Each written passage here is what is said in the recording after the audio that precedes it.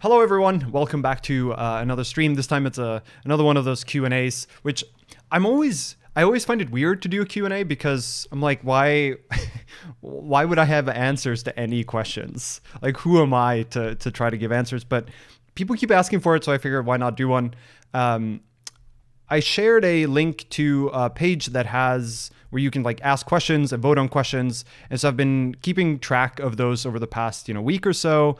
Uh, and my plan here is really just to go through the questions from, you know, most voted on to least voted on, uh, and just, you know, have have a bit of a chat about each one. Um, one thing I'll mention, just because of all the mayhem that's currently going on in Twitter, is that I am on other platforms too.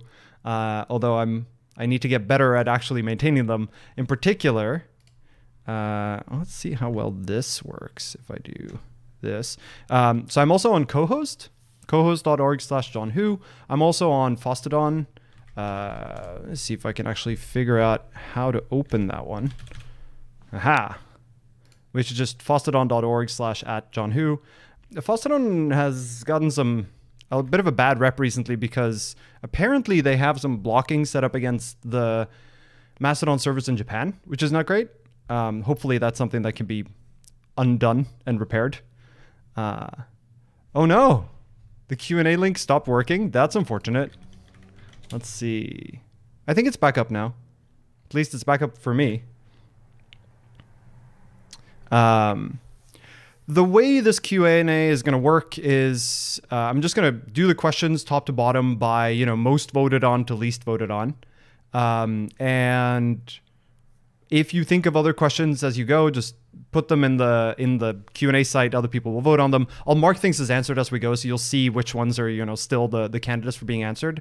I'm guessing we'll probably go for you know a couple hours, which is pretty wild. But we'll we'll see how long we go and when when the questions start to dry up. I'll try to keep an eye on chat as well as I go. Let me switch back to this.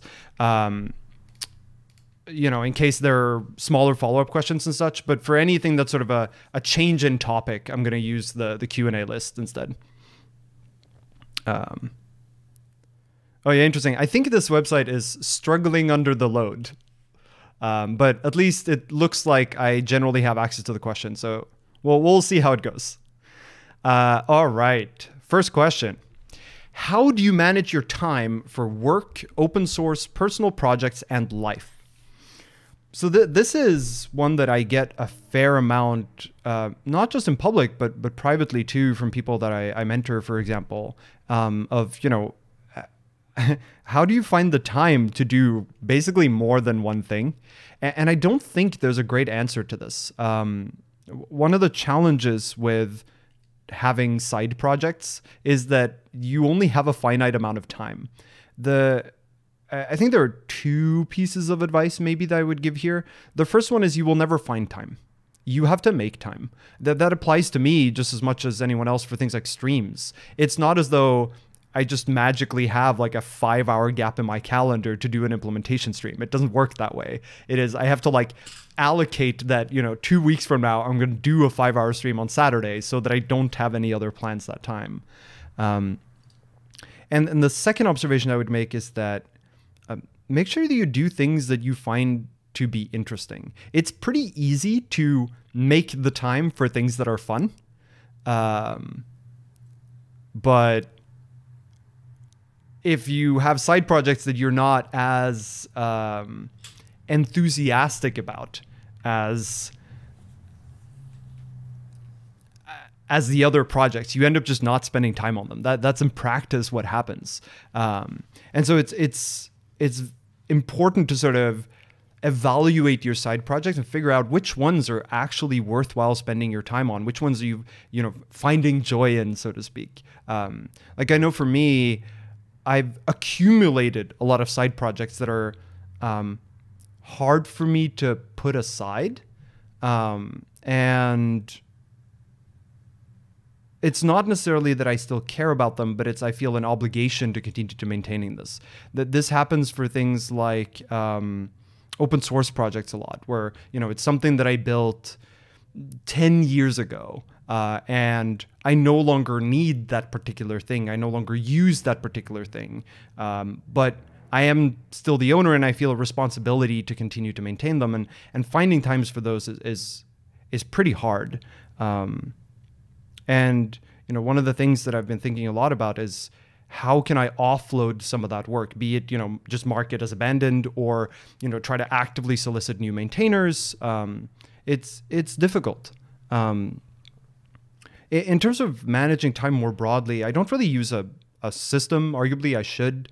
Um, I've I've found though that if I sort of look at my schedule, I it's not as though I have like if I filled my calendar, I wouldn't have lots of things to put in the calendar. It's not as though I have, you know, tons of meetings. Let's ignore work. Like just assume work is one chunk, like one unit chunk in my calendar. Um, but for all the other stuff, it's more that just things come up or I discover things I want to spend time on. So it's not really things that I can plan out in advance. Um, I do try to plan for open source work. So in general, um, I now do open source work like sort of every weekend. Like I let it build up over the course of the week because after I get home from work at the end of the day, I don't I often don't want to sit down and do more programming, even though I really enjoy programming, but but I end up, you know, feeling as though I've I've expended some of that creative energy. Um, and then when I get to the weekend, I then catch up on my GitHub notifications, like some of the streams that I've done on on um, you know day in the life of open source maintenance. Um, it's that kind of stuff, um, and uh, so, so I do end up sort of dedicating time to it, but it's not as though like it's Saturdays from one to four. It's more I know that on Saturdays I tend to do catch up on you know email and open source, um, and even that was a struggle actually to say you know um, I'm gonna not respond to things immediately. It, it, was a there was a lot of I don't know resistance in me towards um, making that trade off um, because I, I feel a I don't know sense of responsibility or something where I I want to address things straight away. If I you know if I'm just sitting on the couch and watching TV or something, I feel bad about not responding to you know an open PR or an issue or whatever. But at the same time, I know that if I tried to respond to everything, if I tried to address everything quickly, then it would be counterproductive because effectively what would happen is I would burn out. I wouldn't have enough downtime. Um, and, and I think managing your own sanity in that sense and, and recognizing that like y- you need to have time that isn't set up to do something productive as well. Otherwise you go insane. Um, all right. I'm going to consider that one answered, even though you know it's a it's a big, complicated topic. But but I think it's hard to give a, a, a complete answer to it. All right, next question. When picking third party libraries for your Rust projects, what design, architectural, technical attributes makes you use one library over another? Um, are there any red flags that you pay attention to? This is a difficult question. And, and I don't mean that just personally, but I think professionally as well it's a it's a difficult question for for anyone who's looking to adopt Rust and, and any programming language. To be frank, right? This this all ties back to uh, effectively supply chain security, or in this case, you know, it's it's more like supply chain sustainability, maybe of not just do I do I trust this project, like in the sense of do I trust that they're responsible maintainers and they're not going to publish anything malicious, but beyond that, right? I want to take dependencies where I think they're being responsibly maintained in the sense of um, do I think maintainers are going to stick around or is this going to be abandoned at some point? Um, do I think that the developers have a sufficient commitment to things like backwards compatibility? Um, do I think that they generally address you know feedback performance issues prs in a timely manner or are they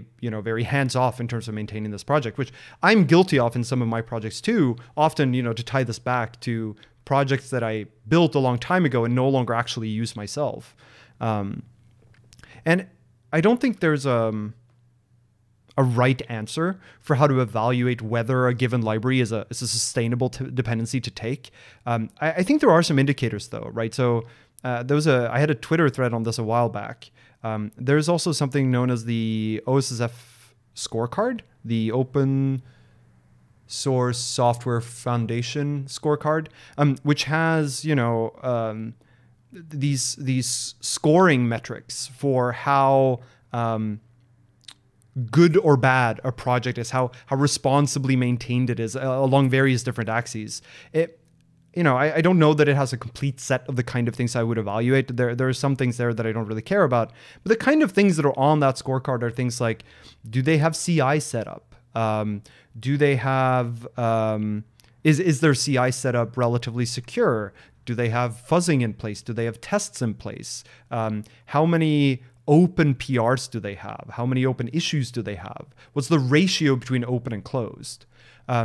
I think for me, there are some other aspects that come into this that are that end up being more social, right? So um, libraries that are developed by maintainers that I've had good experiences with work pretty well, right? So um, basically anything built by you know David Tolnay, anything built by Burnt Sushi, um, like those are those are strong indicators of quality. And not just that it's currently high quality but also that it will continue to be a thing that's worth depending on.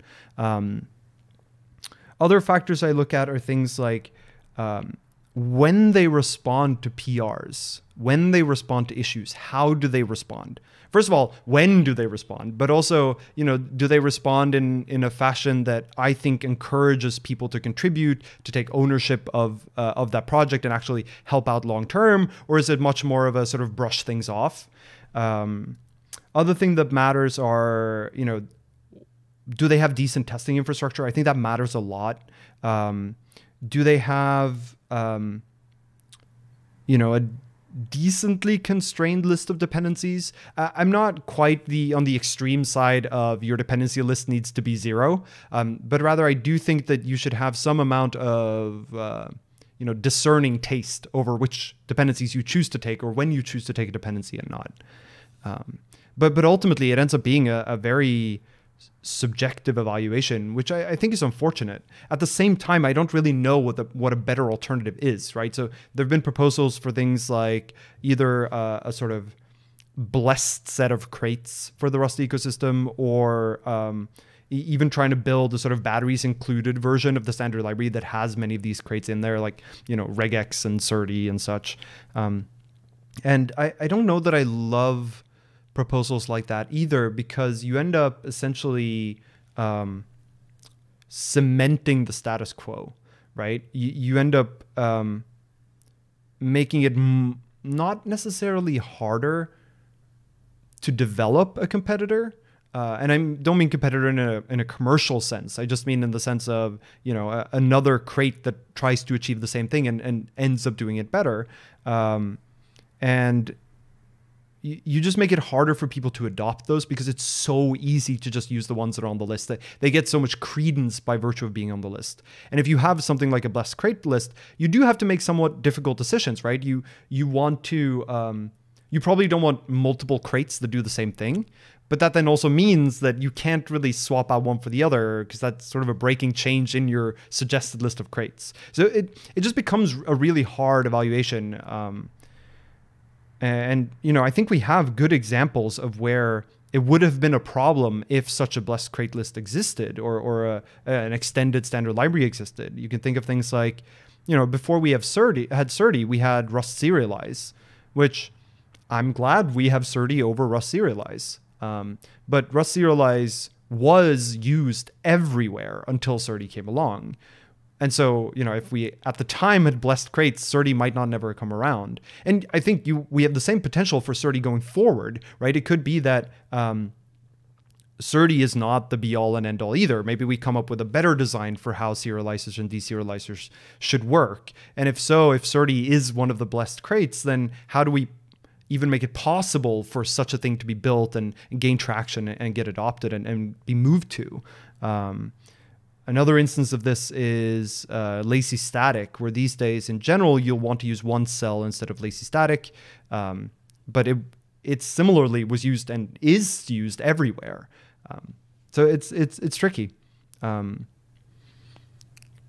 and I don't I don't know that we can codify, you know, the the most important the, the attributes that matter because there's this problem too of if you make um,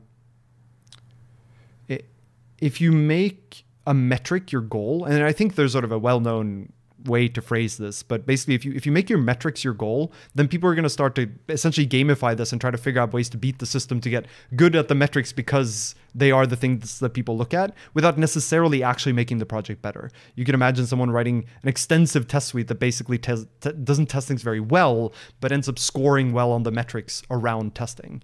Um, and uh, you know I, I don't think we necessarily want that kind of gamification either. The, the same thing applies for trying to come up with, you know, objective scoring for is this a sustainable dependency? Is this a, a risky dependency? Um, it, it's difficult because not just are there a lot of metrics that go into such a score, but also what things you weigh heavily for your project might be different from what I weigh heavily in my project. Uh, and, and navigating those nuances is if all we assign is you know one or two scores is, is difficult. Once you start assigning you know semi-arbitrary numbers to things it, uh, a lot of nuance tends to get lost.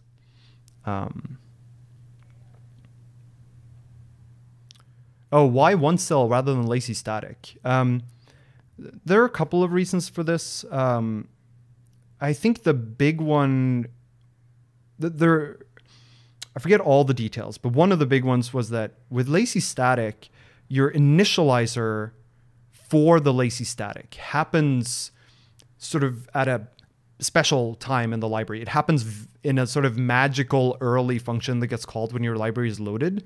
Um, and that means that it's harder to do things like handle errors. Um, you don't really, in some sense, your program the, the, the, lazy statics get initialized before your program gets to run. So they can't really do anything like handling failure gracefully. Uh, with once_cell, it takes a different approach of saying um, when you access the thing, you also give the initializer. And that way, the value gets initialized during your program execution, which means that you also have a way to propagate errors. Um, and so that ends up being a, a, slightly more reliable way of um, uh, of doing initialization, or not necessarily reliable, but more flexible, more uh, powerful, perhaps. Um, all right, let's mark that as as answered. Uh, okay, so this next question is how can you morally justify working for Amazon, especially in light of Amazon's anti-unionisms? This is a question I struggle with a lot. Um, and obviously, you know, this is where I give the caveat of this is my personal opinion. This is not the opinion of you know Amazon or whatnot. Um, but I struggle with this because the the way the question is framed, it, it ends up being a very black and white question of like Amazon bad, therefore why you work for Amazon. And and I I do understand the framing of the question, but but I did I take some issue with it, which is that it assumes that things are always right or wrong. Um, and, and I don't mean that in the sense of like the particular actions are being called out, like anti-unionism is at least in my opinion, just bad. Um, but but it's more a question of my decision to work there ends up being a um, you know a multifaceted decision where what I have to trade off is the benefits of working there versus the versus the the drawbacks of working there. And in the in the drawbacks buckets are things like you know there are many things that the company does that I don't like and that I, I want to distance myself from. But at the same time, there are things that I'm enabled to do by virtue of working for this company and in particular in the role that I have that I see as significant advantages that I think would be very difficult to get anywhere else. Um, and so ultimately it ends up being this kind of trade-off of, you know, I can get benefit, I can, and when I say I can get benefits, it's not necessarily about me. It's more about the impact I feel I can have on the world where there are good things I can do by virtue of being in this role, but there are also bad things that this company does. And, and how do I trade these off? How do I weigh them relative to each other? And at least for the time being, the, the balance for me comes out to I think I can do more good than the bad that results from me being there. Um, and so, so some of the examples here for me is stuff like um, I end up having a decent amount of um, what's the right word here impact on the adoption of Rust at Amazon. Um, you know, a lot of my work is essentially enabling more and more teams, more and more developers to make use of Rust. That in turn has a, a positive effect on Rust as a programming language, Rust as an ecosystem. And what we can argue about, you know, is companies using a language a good thing but i think in general it means that you know there are more jobs created using this language in general right? It, it becomes a better known language. Um, the fact that a large company adopts it widely is um, a signal to other companies that they should start adopting too. So it creates jobs not just there but elsewhere as well using this language. Um, it at least the way I try to push, um, means that more resources end up being funneled into the Rust ecosystem beyond just the company. And, and, I think if I if I wasn't there, it's not as though you know Amazon would stop doing things with Rust, but but I do think it it gives me an ability to um, steer the direction that, that that involvement takes, and and um, and I don't think there are many other places I could do that at the moment. Um, Someone mentioned in chat, thanks for even considering to answer this question. I, I thought about it a lot, actually. I, I, saw this question come up and I was like, not surprised, right? This is a very obvious question to ask. Um, but it's also a it's a thorny question. It's a difficult question to a- answer, and and it's one that you know I struggle with myself. I, I don't I don't I can't claim that I have the right answer here. All I can claim is I, I've tried to balance this in my head, and and I've come out on the side of, for now, this is still the right thing for me. Um, yeah, and so someone also makes the the argument in chat here that if all the good people avoid working at Amazon, then Amazon never gets better, which applies to any company, right? Um, that argument only goes so far, right? Where um, it, it, assumes that given a sufficient number of good people, the company changes for good. Um, and that's not always true. I, I, do think it's true in Amazon's case, but uh, that that becomes entirely speculation, right? Um,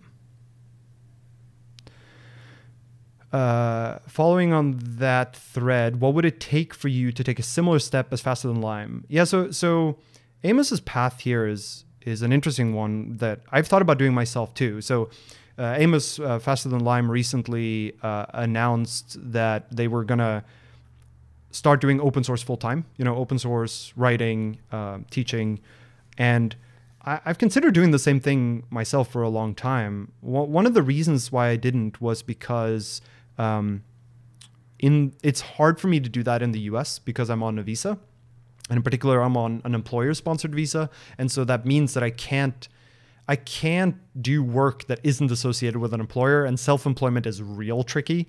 Um, and so I can't have a Patreon or GitHub sponsorships on the side because it's condi- it's considered work from elsewhere than my primary employer, which is not permitted. Um, and I couldn't do full time work on you know Patreon GitHub sponsors because they aren't full time employers. They wouldn't sponsor my visa. Um, it is something that I've considered more, you know, in terms of when I do eventually leave the U.S., that might become more tenable. Um, but you know, as as Amos pointed out in in the article they wrote as well, it is a scary step because suddenly your your livelihood ends up being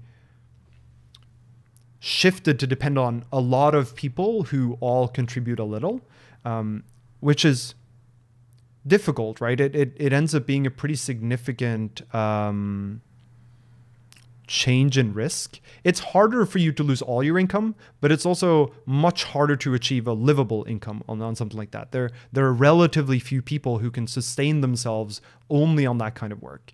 And, and I think, you know, a related problem here is that, uh, and I think about this a lot too, that let's say I started a Patreon today or a GitHub sponsorship or, or both today. Um, I would feel bad about people sponsoring me with large amounts of money. Uh, you know, the large, relatively speaking, here, because at the moment my salary is pretty good, and so that would be a sort of wealth shift in the wrong direction, if you will. Um, but at the same time, if people don't contribute much because they see that I don't really need it, or I say that I don't really need it, which then is true, it means that it's a more difficult choice for me to choose to leave the sort of relative comfort of my current job for that because I don't see what the actual payout would be. Um, and I would have to sort of take the leap and gamble on the fact that people would increase their contributions when they see that I no longer work for a big company. Um, so, so you know, it's it's a scary step, and I, am I'm very curious to see how it ends up going for for Amos. Um, and I, I I really hope it goes well because it's a path that I would love to take as well. Um, I think for me, it would take a maybe a slightly different path in that I think I would focus a little bit more on teaching, right? So I would continue to do my open source stuff. I would continue to do things like streams, probably much more regularly. Um, but also, I might do things like uh, offer maybe some kind of class, maybe some kind of workshop, maybe even, you know, pay this amount of money and I'll come teach the engineers at your company about Rust. You know, I, I think I would have to find some of those kinds of opportunities to to make it sustainable but it would be really fun. It's something I think would be great. Um,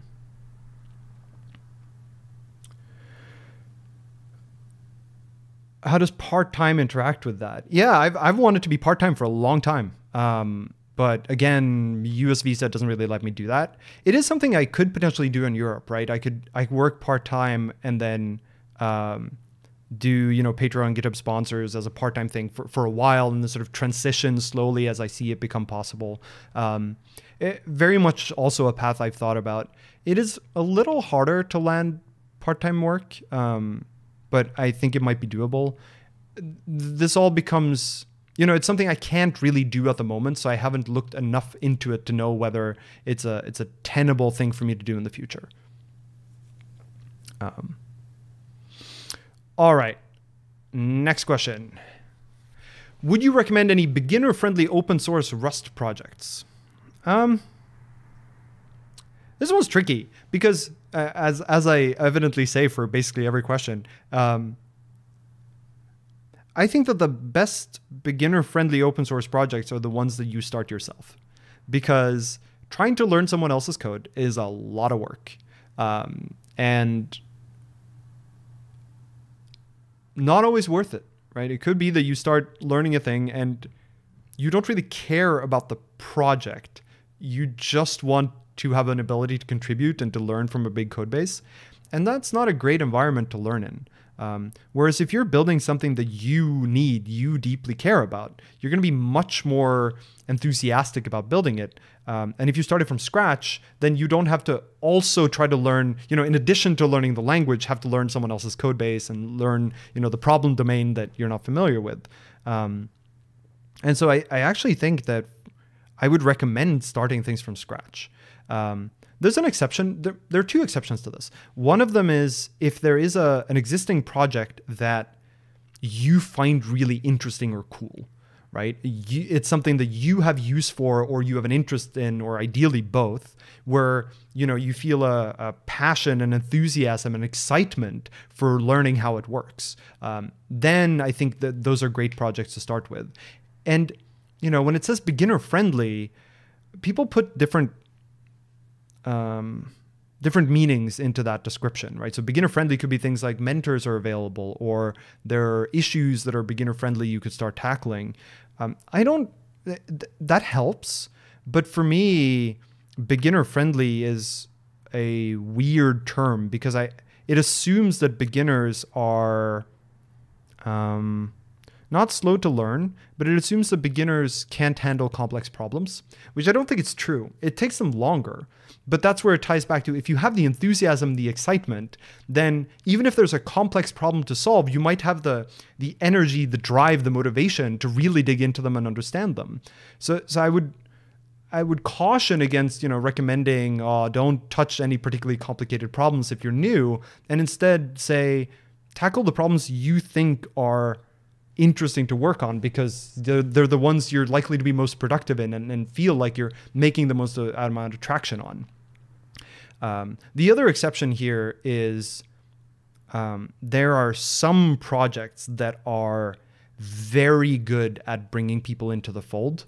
Um, and so here, you know, I'm thinking of projects like Bevy have been pretty good at this. Um, Clippy has been pretty good at this. The Rust project itself has been pretty good at this.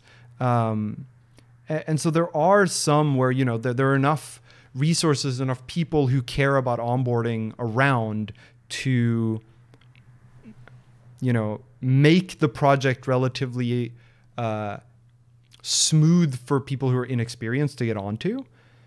But at the same time, I don't think that means that you should start working on them if you don't care about the problem domain, right? Like if you don't care about working on a compiler, then you shouldn't start contributing to rustc.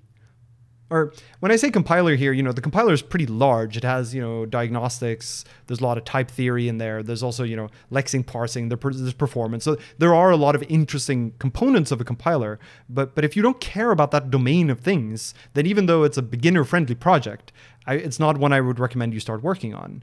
Um, so, but but it can be a good candidate if you find some of those um, problem domains interesting. Um, yeah, and another good recommendation here in chat is to um, do something where you have relatively fast feedback loops. Um, so in general, with like human learning, we learn by getting feedback. And so if if the distance between or the time between you submitting something to getting feedback on it is very long, um, that's going to be much harder of an environment for you to grow in. Now, the feedback doesn't necessarily have to be human feedback, right? It could be something like um, you know, if you're doing performance optimization, then how quickly can you get results on your your iterations and your improvements? Um, but sometimes human involvement is, is important here too. If ultimately your goal is to contribute back, then you know if you ultimately submit a PR and you don't hear back from a, for a year, your learning sort of stops there. Um, and so this this comes back to it's worth looking at whether the project is basically dead or whether there are people who who seem like they might be willing to um, to help someone get get started and at least you know uh, contribute feedback if not mentoring instructions. Um,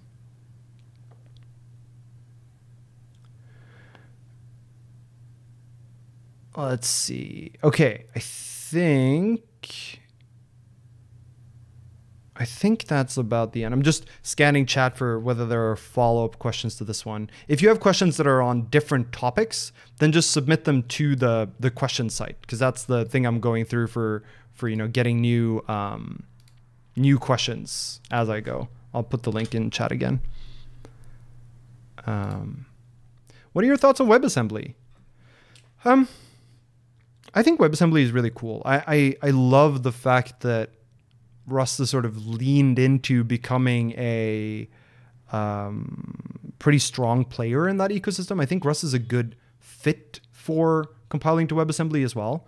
Um, unfortunately, I haven't done much WebAssembly myself, but it is something that I I want to do more of, if only because I see it as being a pretty exciting um, path forward. You know, we were stuck in this in this um, I don't want to say rut, but we were stuck in this world where you could only use JavaScript for front end development for a long time. And the fact that that's changing, I think, is pretty cool.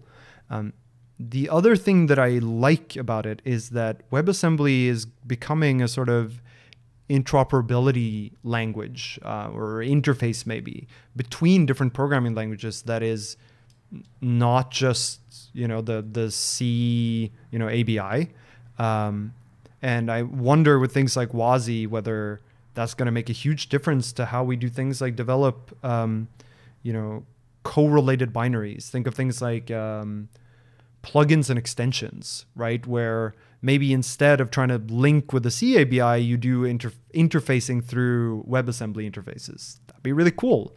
Um, but because I haven't used it that much myself, I'm, I'm hesitant to, you know, get, try to claim that I have any any right answers in, in that domain. Um, yeah, the website seems to struggle under load. If you refresh, it'll the event the Q and A site comes back again every now and again. uh, yeah, I'll, what I'll probably do actually is after the stream, reach out to the maintainers of the site and be like, hey, uh, it looks like you struggle a little under load.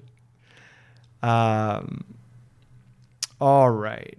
What would it take to drop Vim and adopt another editor like Helix? Um, it would take a lot for me because I don't really have any problems with Vim. When I say Vim, I mean NeoVim. Um, although Vim itself has gotten pretty good too now, but like, why would I switch? I, I, I genuinely just don't have complaints about NeoVim.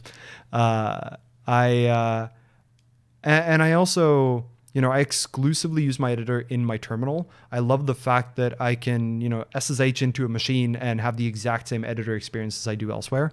Um, so, you know, while I think it's really cool that people are developing new editors and I, and I understand the appeal, I understand the excitement, I don't need what they bring. Um, you know, NeoVim has a lot of plugins. They eh, it's extremely customizable. It has key bindings that by by now I'm extremely used to. Um, it it or Vim you can get everywhere. It runs everywhere. Um, the key bindings are you can find for basically every editor. So I, I just don't really see a, a, strong selling point for for switching editors at this point. You know, I think there are some arguments for things like if you build things in, you can make them faster. I'm thinking of things like um, syntax highlighting or um, like language support more broadly, like auto completion, and that is true. But at the same time, you know, this this becomes the monolith argument of you can build better things if you co-build everything together, but at the same time, you end up with a more strongly connected uh, and strongly coupled design that makes it harder when you know something like LSP comes along. Um, you know, if you built an editor before the, the the world of LSP and you weren't leaning into having everything be supported by plugins, then it becomes harder to to move to something like that.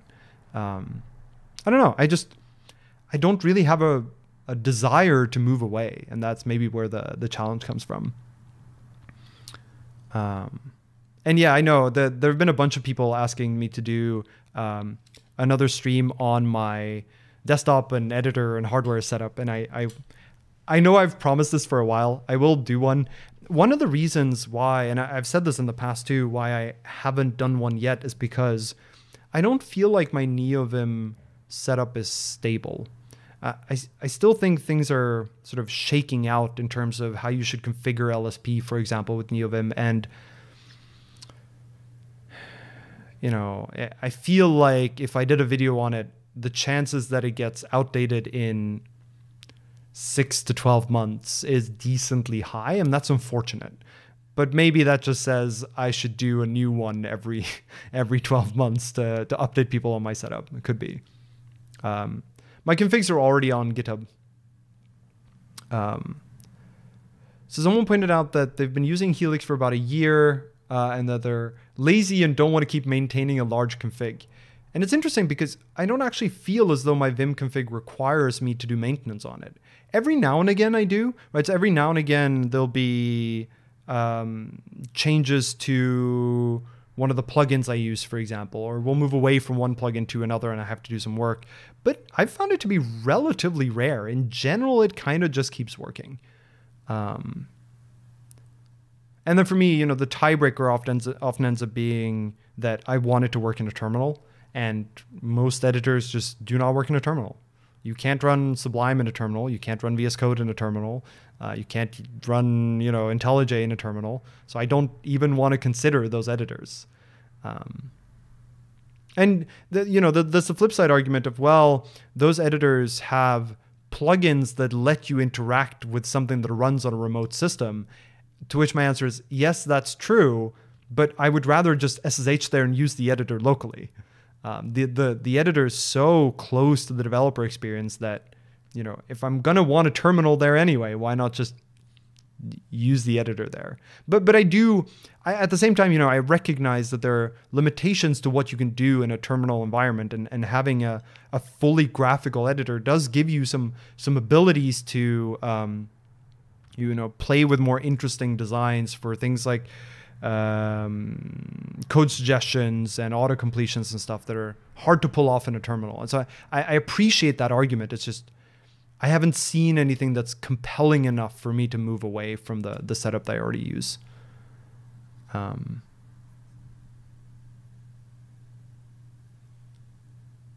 have you tried to pre-configured NeoVim setup like AstroVim? Nope. I, again, I don't really know why I would. I'm pretty happy with my setup, um, and I feel like I would rather keep adding things until I have only what I need then I would have take a giant dependency and then remove things or disable things until I get to what I want. Um, uh, debugging from other IDEs. Debugging is when I hear a decent amount, right? If people want the sort of native debugging experience you get in in a um, in a more graphical IDE, I understand that. I just haven't found the need for that. Like for me, I get very far with just like print line debugging in GDB. And it is true the experience is nicer in an IDE, but it's not a compelling feature for me. And maybe that's because the development that I do, it ends up that I do less of that debugging. I'm not sure. But that's just never really been that much of a pain point for me. Um,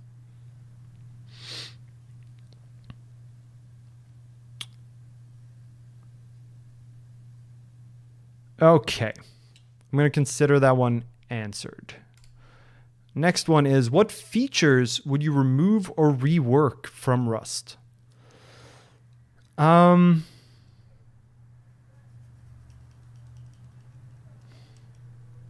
I get this question every now and again, and, and I always find it tough because I don't really have a sort of hobby horse of or I don't have a backlog of things where I'm like, Rust did this wrong. Um,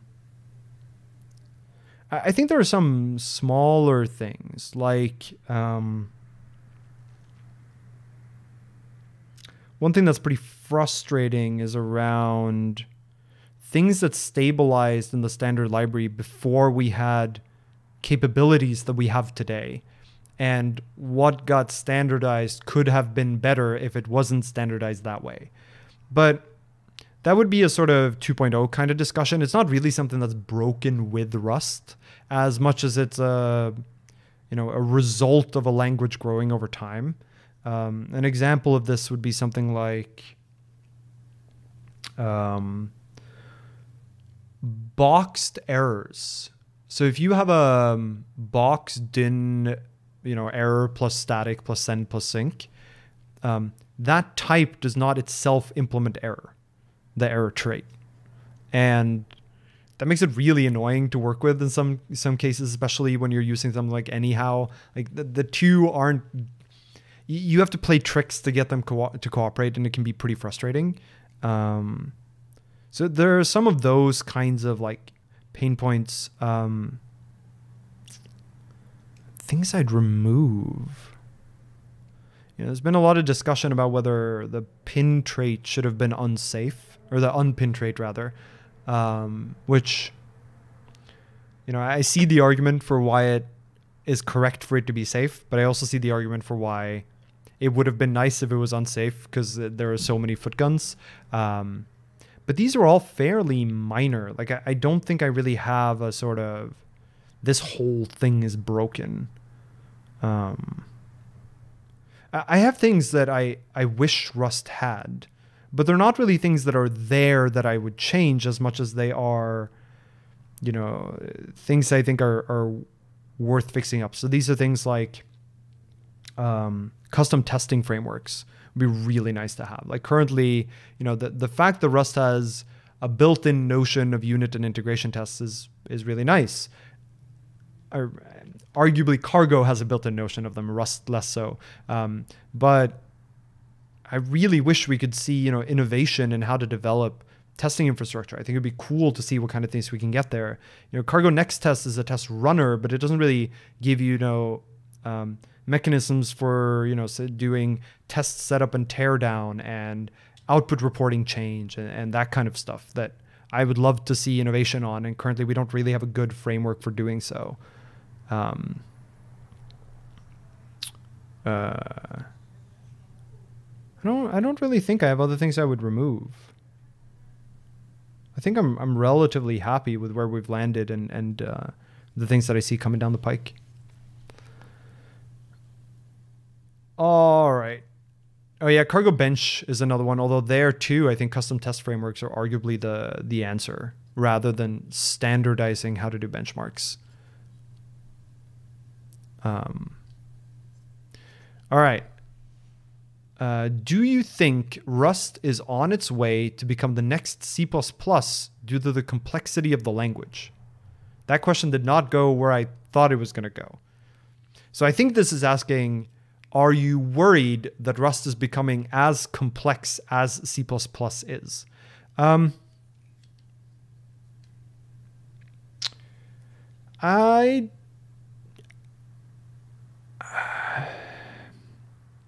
so yes and no. Um, Rust is certainly growing more features, um, and that does mean that you have more tools in the language, and that does make the language potentially more complex. At the same time, uh, a lot of the things that we've gotten in Rust recently, I'm thinking of things like you know generic associated traits, are at least in my mind, not really making the language more complex as much as it is filling in feature gaps, right? So if you if you think about Rust in a sort of abstract sense, not in terms of what the language currently supports, but just like what the language is about. You think of, you know, trait bounds and lifetimes and those kind of things. Generic associated types seem obvious.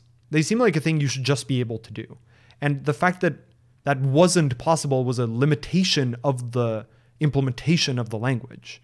And making that possible, at least in my mind, arguably makes the language less complex because there are fewer rules for things that won't work. Um, now, of course, it does mean that things like trait bounds can now grow more complicated, right? So there's sort of the difference between the complexity of the language and the complexity of what you can build in the language, the complexity of the abstractions. And so I think it actually makes the language simpler, but it makes it possible for abstractions to be more complex.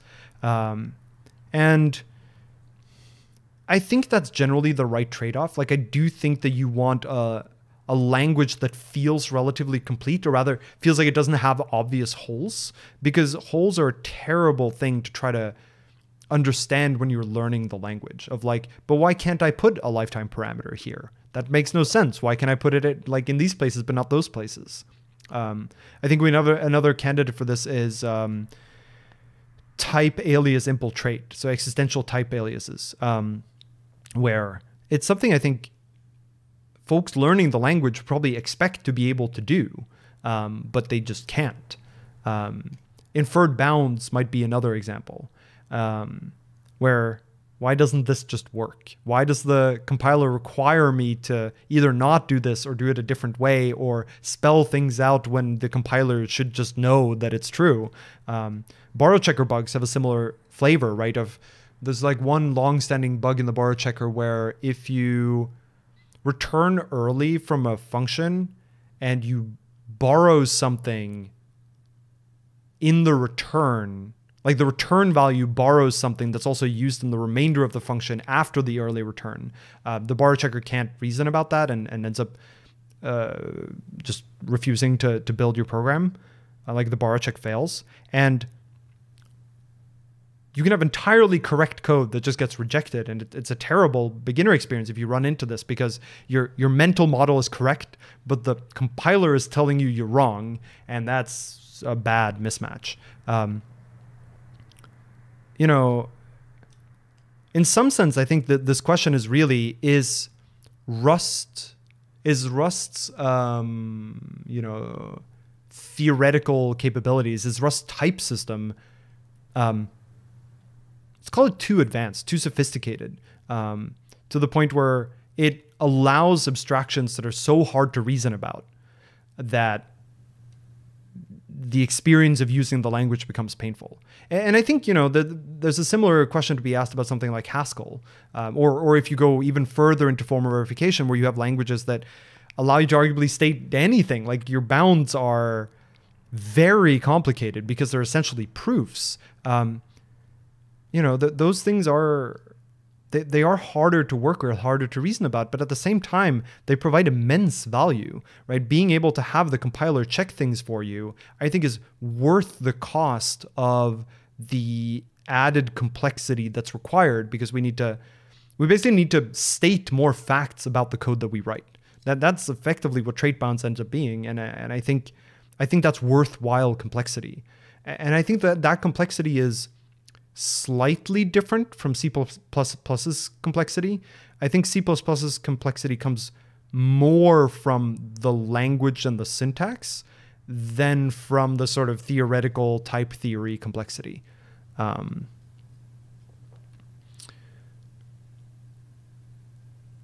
uh, let's see. C++ grows features with compromises. Rust can grow with lesser compromises.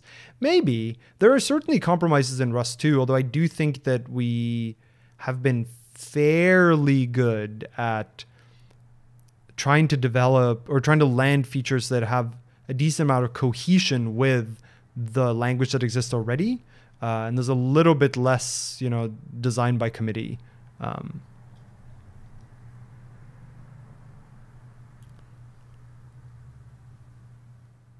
Yeah. So, so another thing that comes up in chat is you know whether Rust and C++ are end up being bloated languages, and uh, bloated here too has multiple different meanings, and it depends on which meaning you use, right? Like the Rust standard library is definitely not bloated, right? It's a very um, it's a very narrow standard library. It's very deep but narrow, right? So option, for example, has tons of methods on it, but we don't have things like you know, an HTTP server or a client or, or anything like that. So, you know, we cover less ground, but we cover it very well.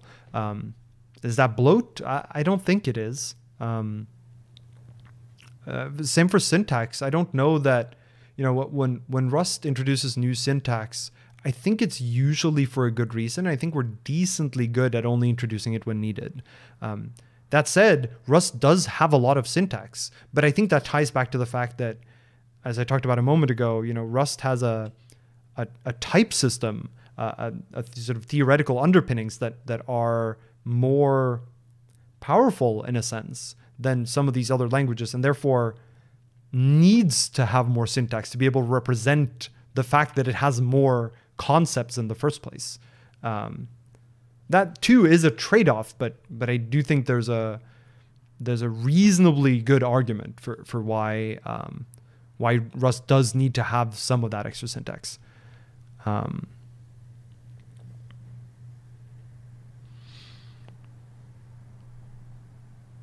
okay. Uh, let's see. Next question is Do you like Copilot?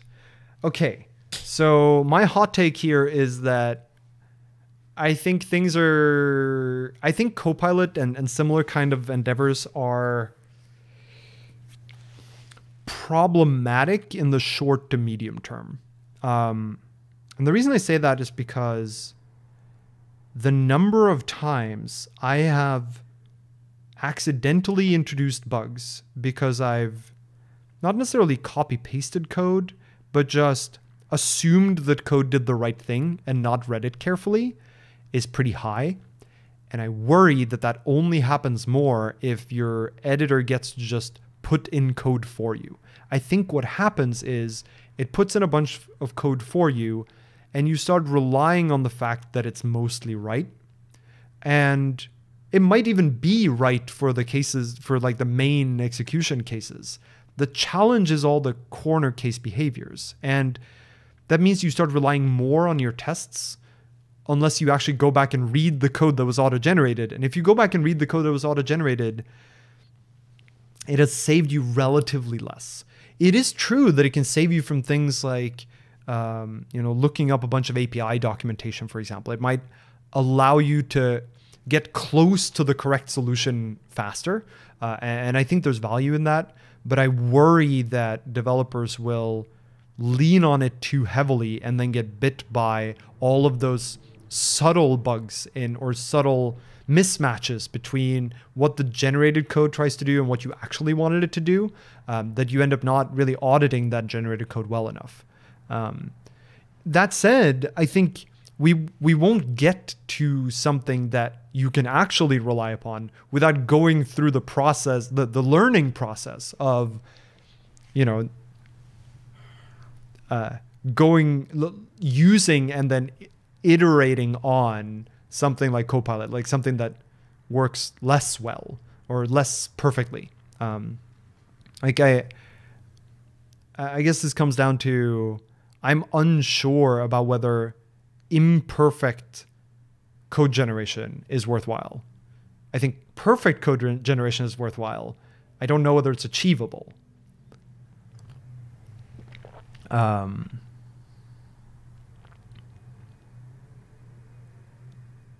yeah, all these libraries have the same bug.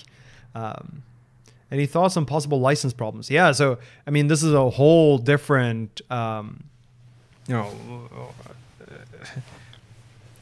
rat's nest or Pandora's box maybe of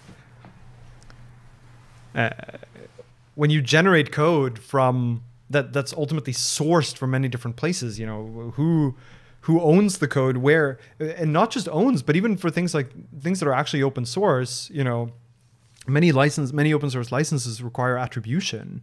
But if the code that you got is built based on you know scanning hundreds of thousands of code bases what does the attribution look like? You could imagine you just put attribution for all of the works that you scanned, but then attribution becomes meaningless because it's just a list of every software project because you scanned all of them.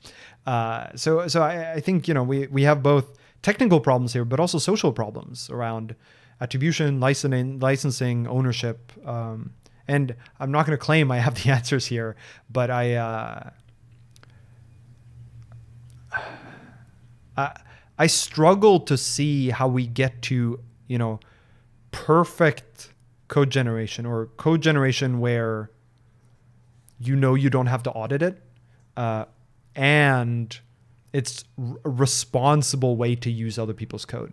Um, what's interesting here especially about that first one about, technical questions uh, or, or, technical imperf- imperfections in the generated code is that a stronger type system might actually help you here right? Because it might be that the generated code if it doesn't do exactly what you wanted then it won't type check. You know, this is sort of the goal of getting more into formal methods where, you know, maybe we could have it so that you use code generation only in contexts where you can sort of prove that it generated the right code, uh, which is an intriguing possibility, but I don't know of any efforts in that particular direction. Um,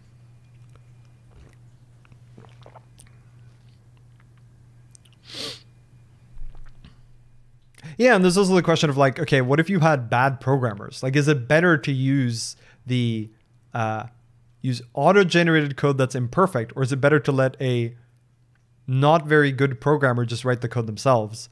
I don't have a great answer to that either, you know. But the auto-generated, I, I think you don't want to use either of those code bases, right? Uh, like even if even if a bad programmer reviews the auto-generated code, I wouldn't trust them to do it properly. Um, so it's I don't know. It's it's a very difficult question. Um, what is the difference between a human learning from thousands of open source projects and using what they've learned to write code without attribution and a bot doing the same? I think that's you know certainly at the core of the question is to what extent is a human just regurgitating pa- like things that they've seen in the past, and to what extent is you know a, a an AI code generator doing the same thing? You know, it, it could be that you can make the argument that really what a uh, what AI code generation is doing is creativity.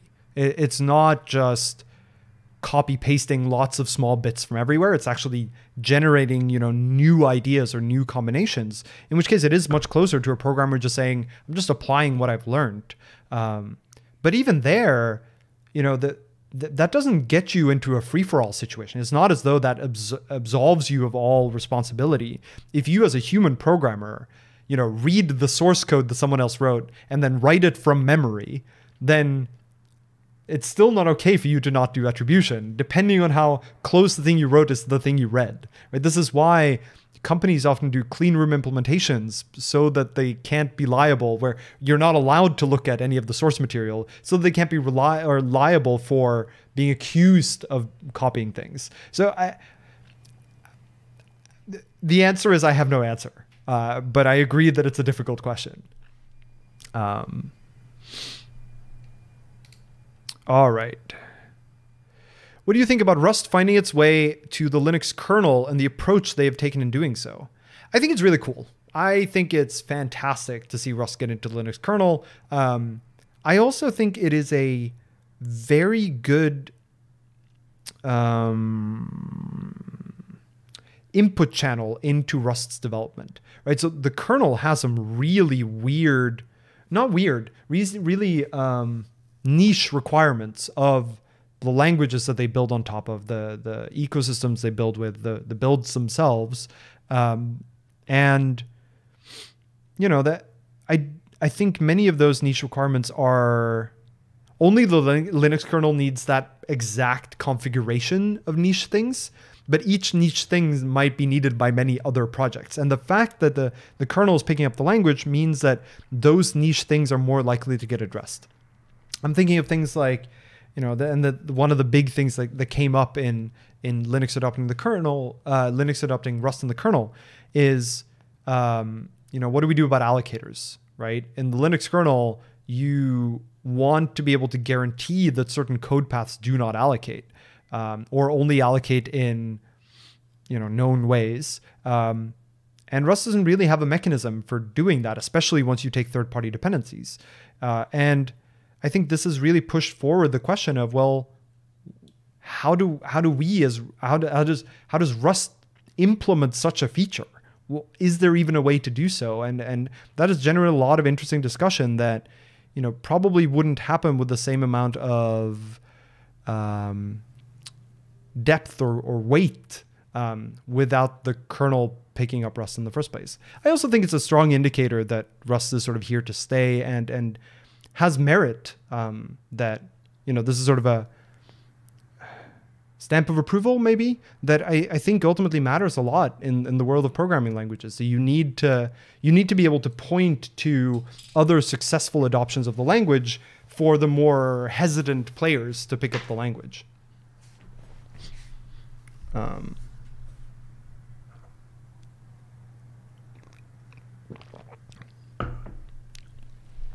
but I don't think I have much more to, to contribute there. What are your opinions on management consulting? Interesting. I don't know that I have strong opinions on management consulting. Um, trying to think if I do, or if there's a variant of this question that I have opinions on. Um, certainly, consulting more broadly, I think, is actually a fairly good idea. Um, mostly because it means that you can companies can avoid having to become experts in everything that they need. Um, you know eh, think of things like security work. If you required every company to have you know their own you know internal pen testers that doesn't scale right? Because for most companies, you ignore the very large ones, right? For most companies, um, th- they don't do enough security work that it's worth having people work full time on security. They just that's not their business model. That's not what they do, and they wouldn't really do a very good job even of hiring a security professional or, or retaining them or giving them the tools that they need.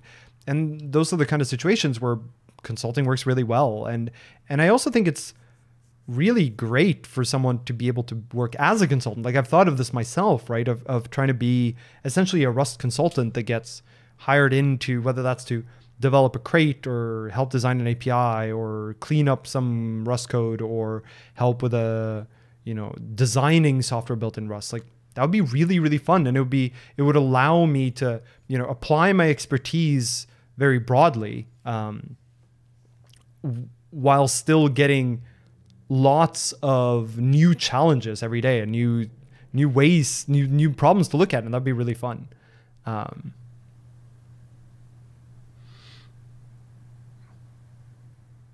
Yeah, so when it comes to you know actually management consulting, like you know McKinsey and BCG and stuff, I, I don't really have a problem with them. I um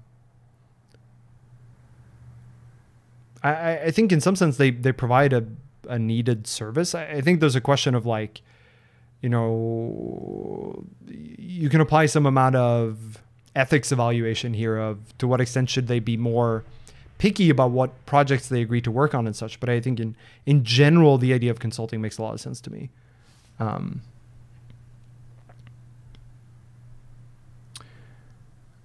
okay.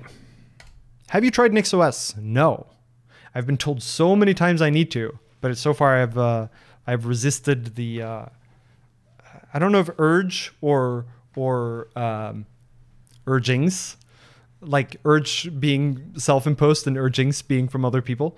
Um, I uh, I think this comes back to the the same argument I have for editors, which is I haven't had a need. Um, I've felt more of a need since I started working at Amazon because I can't run.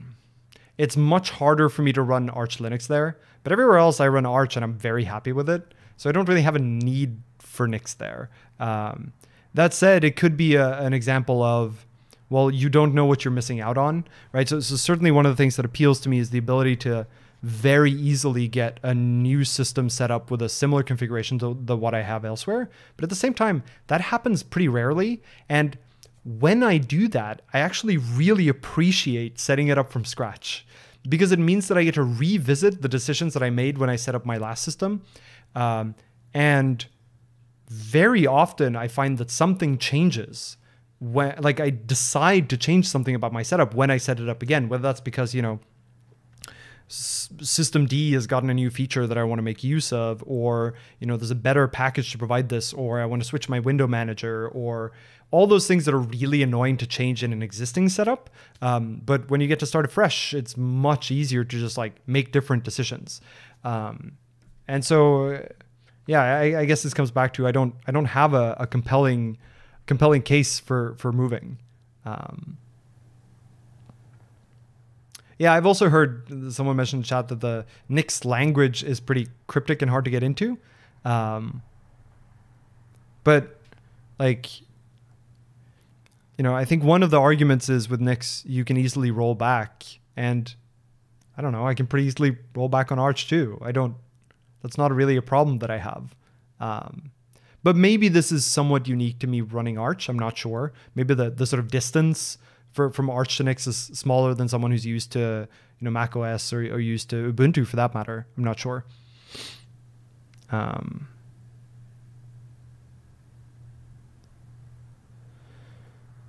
Okay. Uh, do you use any software or plugins for NVim for writing down notes? Nope, I do not. I'm terrible at keeping notes. Um, I have, I have a giant to-do file in my home directory, which is written in Markdown, and my terminal config prints it whenever I start a new shell. Uh, that is the extent to which I have a writing down notes and to-dos, and it doesn't really work really well either because the to-do document that gets auto-printed is longer than the height of my terminal now. So I don't really even see everything that's on there.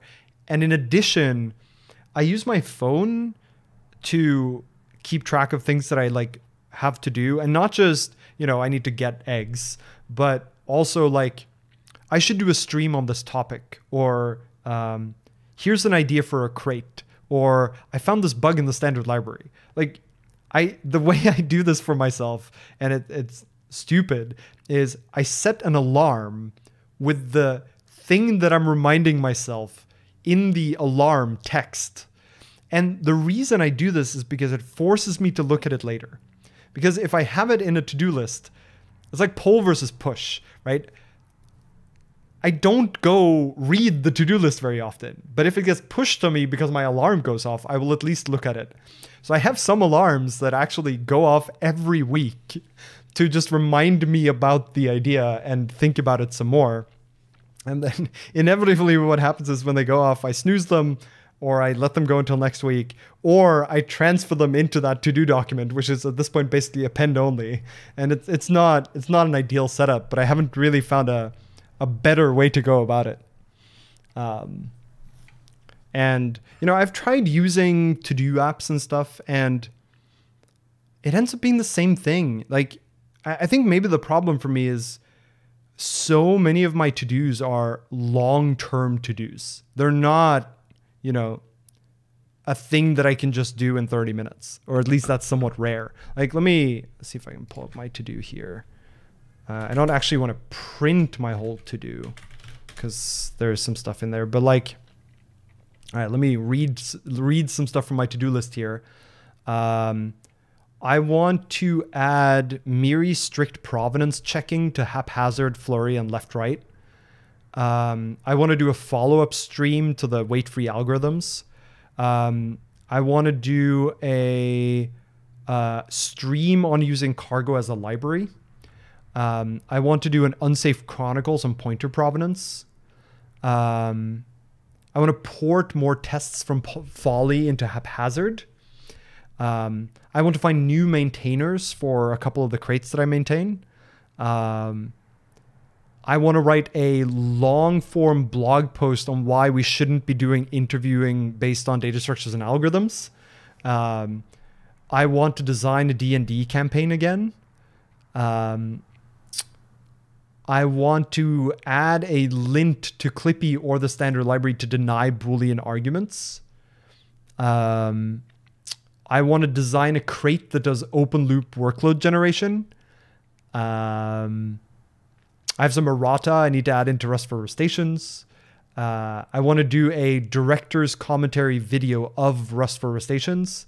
Um, all of these things are things on my to-do list that I can't just do, right? Like these aren't a couple of hour projects. These are I need to like schedule a block of time for them over a long periods of time and so they just end up going on the to-do list. Like they don't really work really well on like if I have a to-do app, the to-do list is just going to be a ton of things that are very long-term things and then, you know, one or two things that I'm going to do next week. Um, and, and then when it comes to like writing down notes, which is what the question was originally about, you know, notes more broadly of keeping track of things that I learn, I'm terrible at.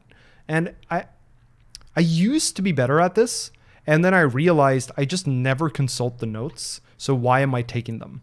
Um, which uh, I think the number of times where it would have been useful for me to have kept notes is relatively low, and therefore I never I never learned to be better. Um,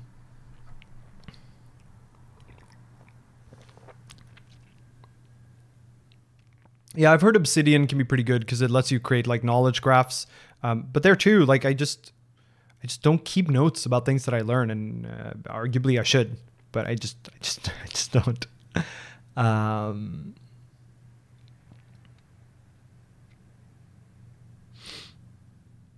yeah, well, one thing that is a problem with my current setup is that it doesn't really do synchronization. So I, I have, I have this one to-do file that you know I use on my laptop and my desktop and I just SCP it between them, and it's not it's not a great way to sync. It's a great way to lose data.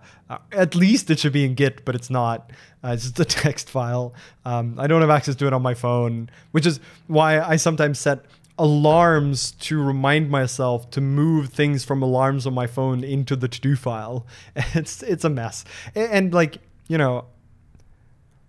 Arguably, one of my to do items is figure out a better way to manage to dos. But the last time I did that, the improvement was have a to-do file. I I think at one point I had 30 alarms set on my phone for various random times, some of which were on and some were off.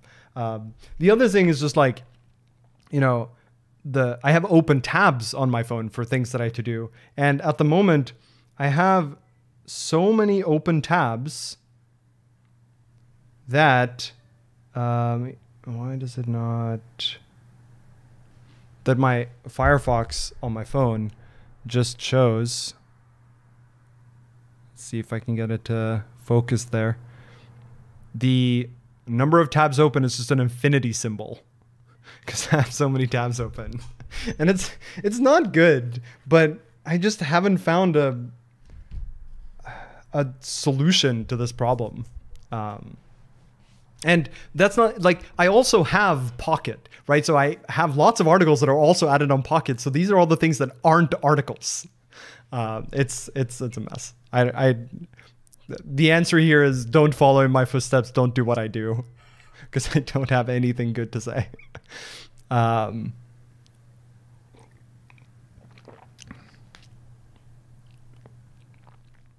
oh, lots of people are asking questions now about things on my to-do list. Okay, so denying Boolean arguments. Um, this was I forget where I came across it. I think this was like I ran into a bug where the reason why my thing was broken was because in my head I had reversed the order of two Boolean arguments to a function. And it spent I spent like three hours tracking down why my thing wasn't doing the right thing. And I, it was one of those points where I was like, okay, I think I'm ready now to say we should just not have Boolean arguments if you have more than one. Um, and so I, I, um, I came to this conclusion that it would be nice to have a lint that's probably like a pedantic Clippy lint that's just just deny Boolean arguments altogether. Maybe you could say only deny if there's more than one, but I'm actually thinking just deny all Boolean arguments. Like basically remove the Boolean type from being allowed to be named. It should not appear in structs. It should not, well, structs might be okay. Unclear, but maybe. But for function arguments, no, they should all require to be enums. And then we should just make it easier for people to have Boolean enums. So you like you could imagine a maybe this crate already exists. I don't know. I haven't looked into it. It's on my to-do list. Um, is to have a crate that makes it easier to create uh, enums that are interchangeable with booleans um, to make them nicer to work with and then just deny booleans throughout your code base. Uh, yeah, the, I mean, these are more projects than tasks. And I, I think the, the answer here is that, or the, the observation is, I don't really have that many tasks, but I have a lot of projects or, or projects that I would like to do. Um, yeah, designing a D&D campaign takes forever. It's really fun. Like I have a lot of thoughts for what I would want to put into this campaign, but I don't have the time. Or rather, I haven't made the time. And you know, it's because I make time for other things instead. Um, it is true that you know long-term to-dos should really be split completely, and I think you know I don't really have that many short-term to-dos, or maybe I should get better at you know keeping two lists and moving things between the lists as appropriate. Um, I don't know if there's a tool that lets you do that, that lets you keep basically a sort of two-tier list, but I don't know. Unclear. Um,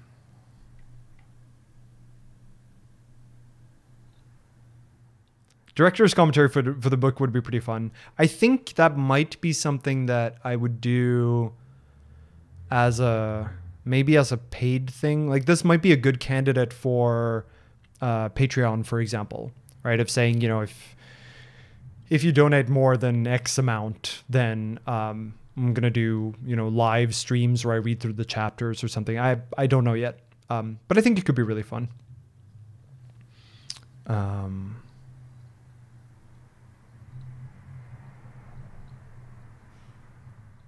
I have considered actually opening a bug tracker for myself. and basically use like GitHub issues or something and use that as the way to keep track of my to-dos. Um, but that feels too feels too heavy duty. Like these project many of these project things are just like one line things that I think ultimately what I need to do is I need to take a sabbatical for like a year and just do these things. Alternatively, instead of taking a sabbatical, what I would do is just do open source and teaching for a year, and then maybe I'll actually have time to get to all of these things. Uh, and like many of these, I could just stream, right? Like uh, strict provenance checking, for example. I think it would be a great stream to like a useful stream to show how you add that kind of checking to you know highly concurrent libraries. So there's a lot of meat here for um, for potential teaching opportunities. It's just that I don't at the moment I don't have the time, and this is one of those places where you know I really think that if I didn't have a full time job, I would be able to do way more of these things and turn them into teaching. And the question is just, is that something I could live off of? Um,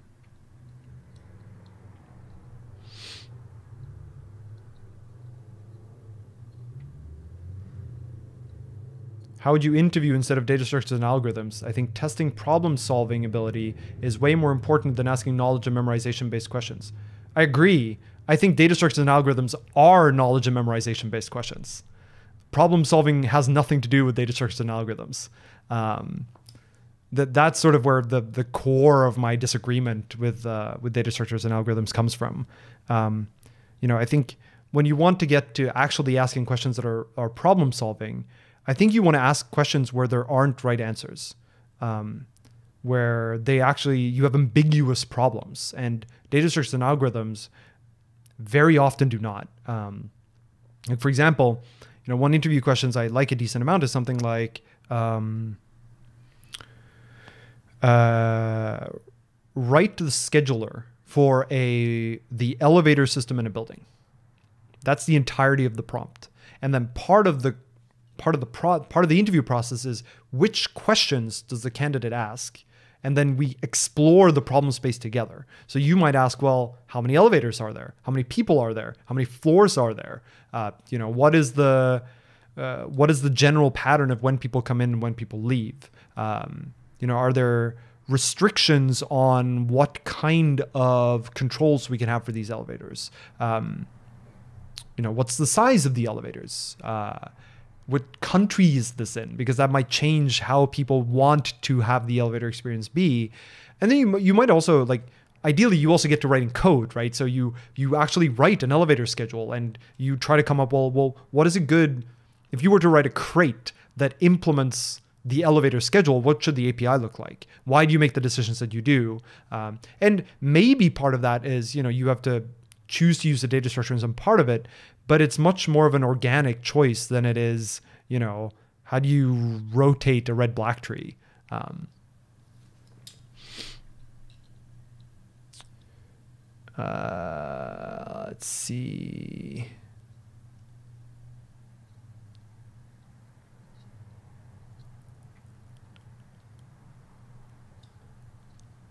Let's see. I'm just scanning through the chat here to see if there are more follow up questions to this. Trello, Kanban, yeah. I mean, there are a bunch of you know mechanisms for this, but part of the part of the challenge I have, right, is that all of these projects are I, I think of them as a bucket where sometimes I have the spare capacity to reach into the bucket and grab a thing, um, as opposed to I'm working on all of these things in parallel. So I don't really need planning for them as much as I just want to make sure that I don't lose track of them. And then sometimes I'm working on some of them. Um, but that means that really it is just a sort of flat list, sort of a, a set bucket. Um,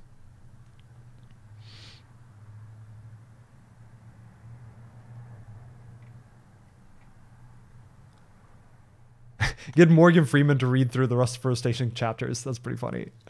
Uh, okay, yeah. So, so someone pointed out in chat that uh, Clippy does have a lint for excessive bools. That's not what I want. It's close, but I think I actually want deny bools, and I think I wanted to go as far as denying bools in tuple structs as well tuples, tuple structs, function arguments, return values. Mm, maybe not return values, unclear. Um, but I, I wanted to be even more pedantic um, than just you have many bools as arguments to this function. Um, full-time job gets in the way of doing really interesting things. Yeah, I mean, I would love to just full time do these projects. I, I think you know it would be an immense privilege if I could, but maybe one day. Um, for the Boolean thing, I think one thing that might be needed is actually language improvements to Rust to make it possible to have a Boolean like enum that actually you can use as a Boolean. That would be really cool. Um,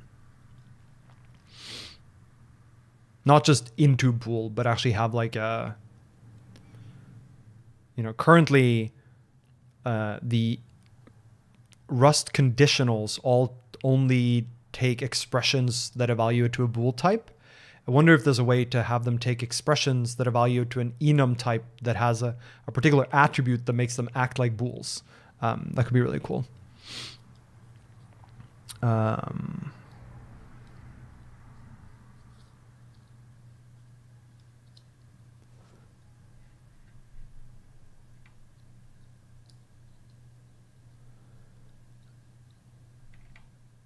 Okay. I think it's time to move to the next question. Uh, how's piano going?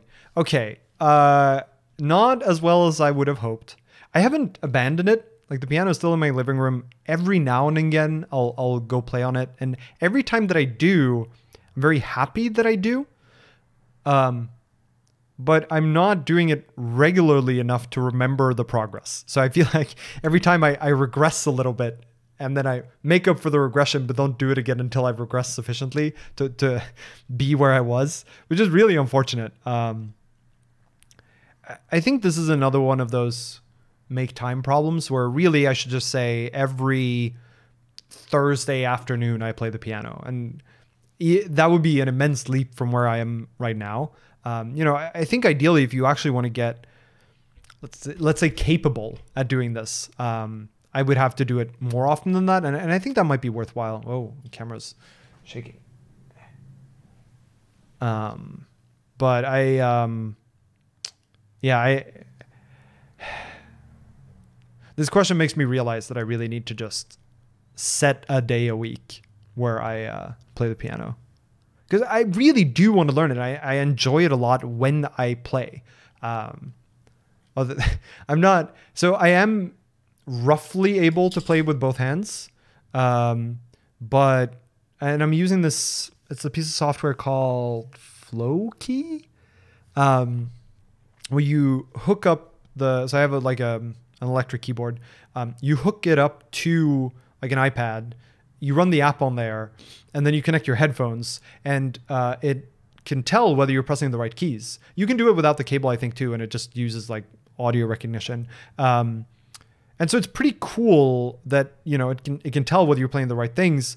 The problem is I don't have the beat well enough in my finger, or rather, I take too long to find the key I have to press, so I can't play it to rhythm or to beat. Um, and so I just play the same song over and over and over again on the sort of move when I've pressed the right keys mode um, until I know the song or the, I know the moves well enough that I can play it in real time mode. But trying to get to the point where I can get a song and I can just play it by watching in real time or even in slowed down real time at beat is I can't currently do. Like trying to, for example, one thing that you know I think would be great is the ability to play. If I had the ability to you know get a sheet music and let's say simple sheet music and um, play it at half speed but at the correct half beat, um, and I'm I'm nowhere near there. Um,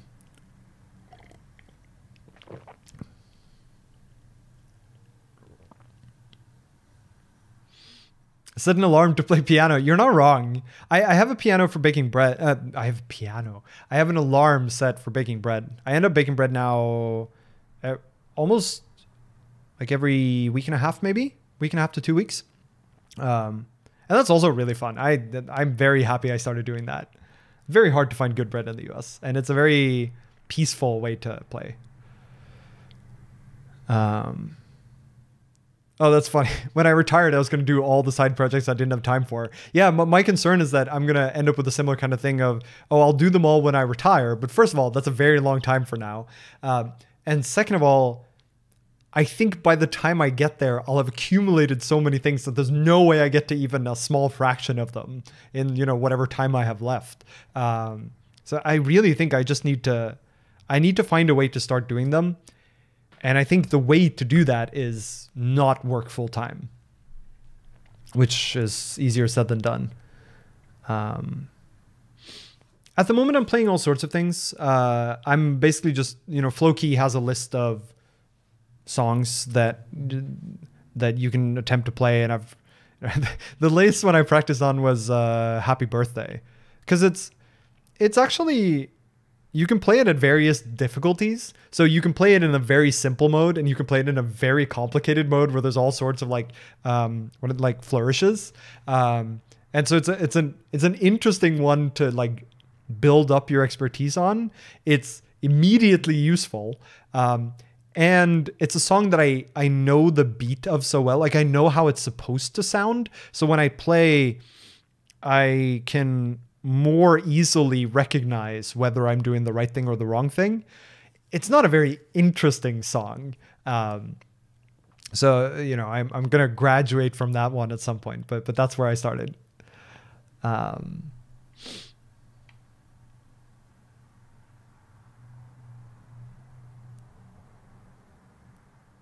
can you play and sing at the same time? Um, that's a good question. I think I probably could if I've gotten to the point where I, you know, I've practiced a song long enough that my fingers sort of move on their own. Um, but I, I don't think I'm at the point where I can do a, a performance for stream yet. Um, I used to have a guitar many years ago, and I, I uh, my my dating profile used to say that my uh, guitar skills were at like 2.71% or something. Like I used I used E to like six significant di- digits as the percentage that I knew how to play the guitar. And that was a great way to signal how much of a nerd I am. Uh, I don't know that it was true. I think I knew less than E percent. Uh, but even so, it was a fun little tidbit. Um,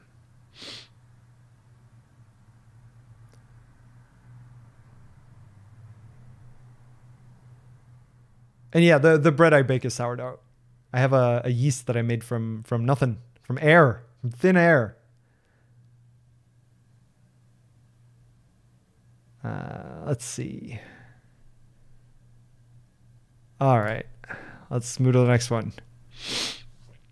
What is your advice for an undergrad student of computer science, like working on resume and stuff, to get admission from institutes like MIT? What do universities focus on in the application process? Okay, so given that you are an, currently an undergrad, um, this suggests that you're applying for grad school. And uh, I think I have. Let's go with three pieces of advice. My my partner recently noticed that I do this a lot, where I I explain how many enumerations there are in or facets there are to my answer, and then I enumerate them.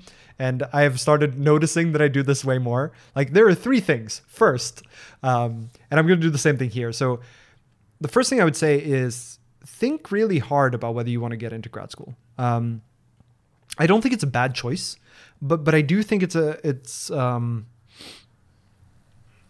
grad school is a it's a big um, commitment. It's a big opportunity cost, and it has the potential to be miserable. It also has the potential to be great, but but it it really depends on whether you find.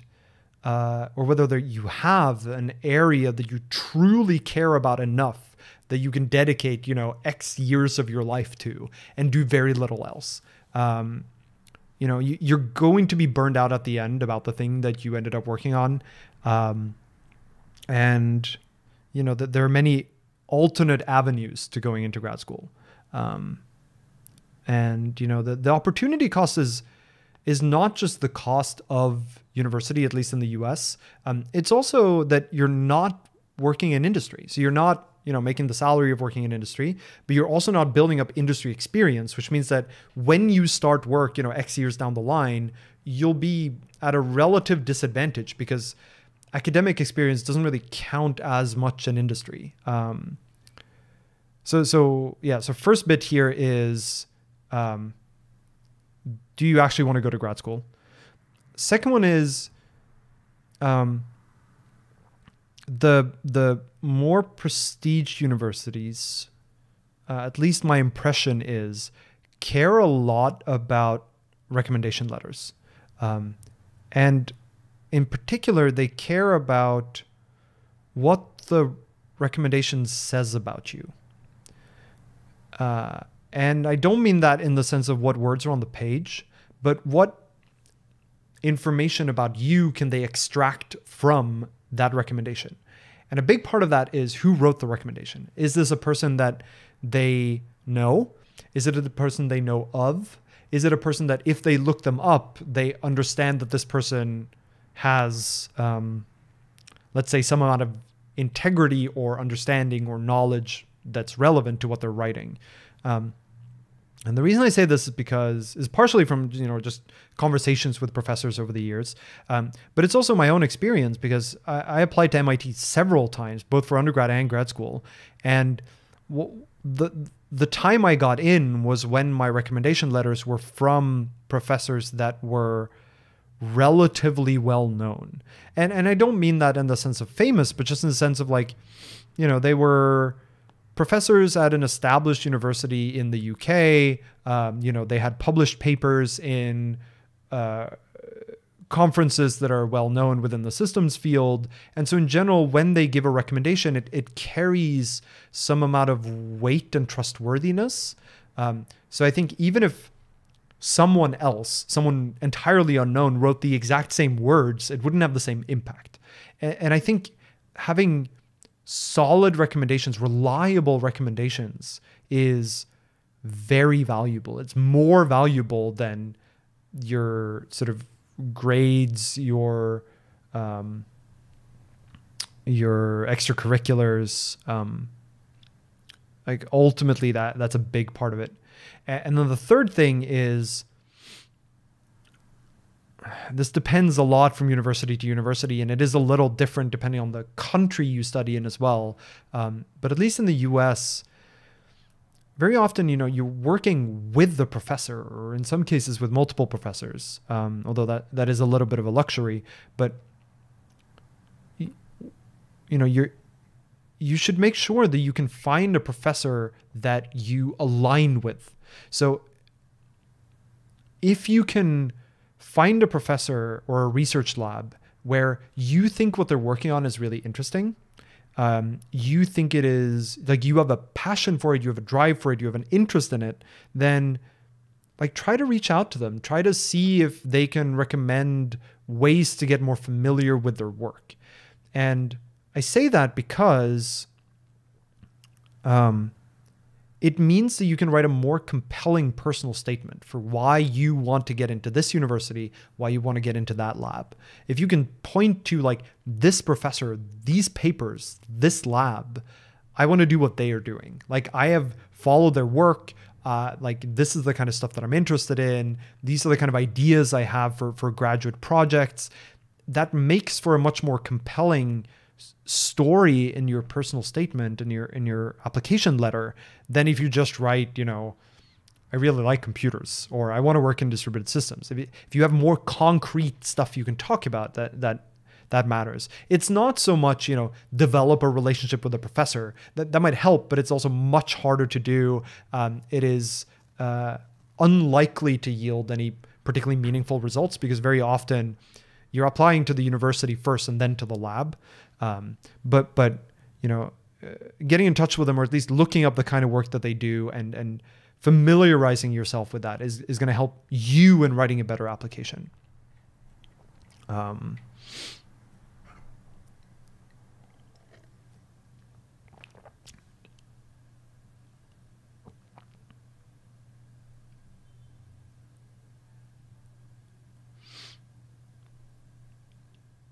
Are there follow up questions on this one? Otherwise, I'll move on.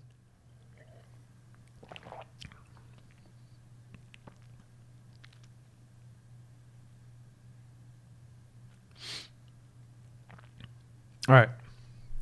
Next question. Um, is Rust language adoption pace slowing, staying the same, or accelerating in the enterprise currently? Do you foresee any changes in this pace given the current Rustlang roadmap? Um, I think Rust adoption is accelerating. Um, and and I, I do note the difference here between you know accelerating and momentum that it's not just that Rust is Rust has a certain amount of momentum and, and it therefore it's growing. But I think the rate of adoption is also going up. Um, and the reason I say that is because I think a lot of companies are have been hesitant to pick up Rust because it doesn't have a a track record of successes. And I think what we've seen is that that track record, track record is starting to become more established. More companies are announcing that they're using Rust. Uh, more companies are announcing gains from using Rust or switching to Rust. Um, more companies are investing in Rust and doing so publicly. That in turn builds confidence that Rust is around to stay, which uh, reduces the perceived risk of the language, which means more companies are willing to step up and, and try it for themselves. Um, I don't know how long we're going to see that rate increase go, but uh, that's certainly the impression that I have from the industry as a whole. Um, that uh, I think the rate of adoption is going up. Um, and to be clear, I, I don't actually think that the goal here should be, you know, Rust adoption at 100%. I don't think Rust should be used for everything or everywhere. I don't think everything should be rewritten in Rust. Um, uh, so so you know the goal isn't to get to 100% saturation um, and i don't think we would ever get there either um,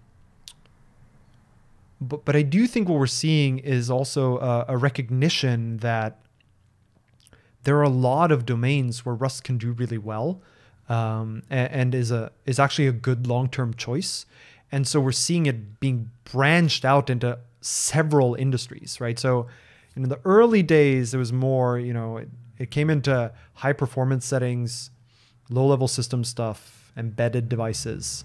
But we're seeing much more now development into, you know, cryptocurrencies, of course, that's been happening for a while.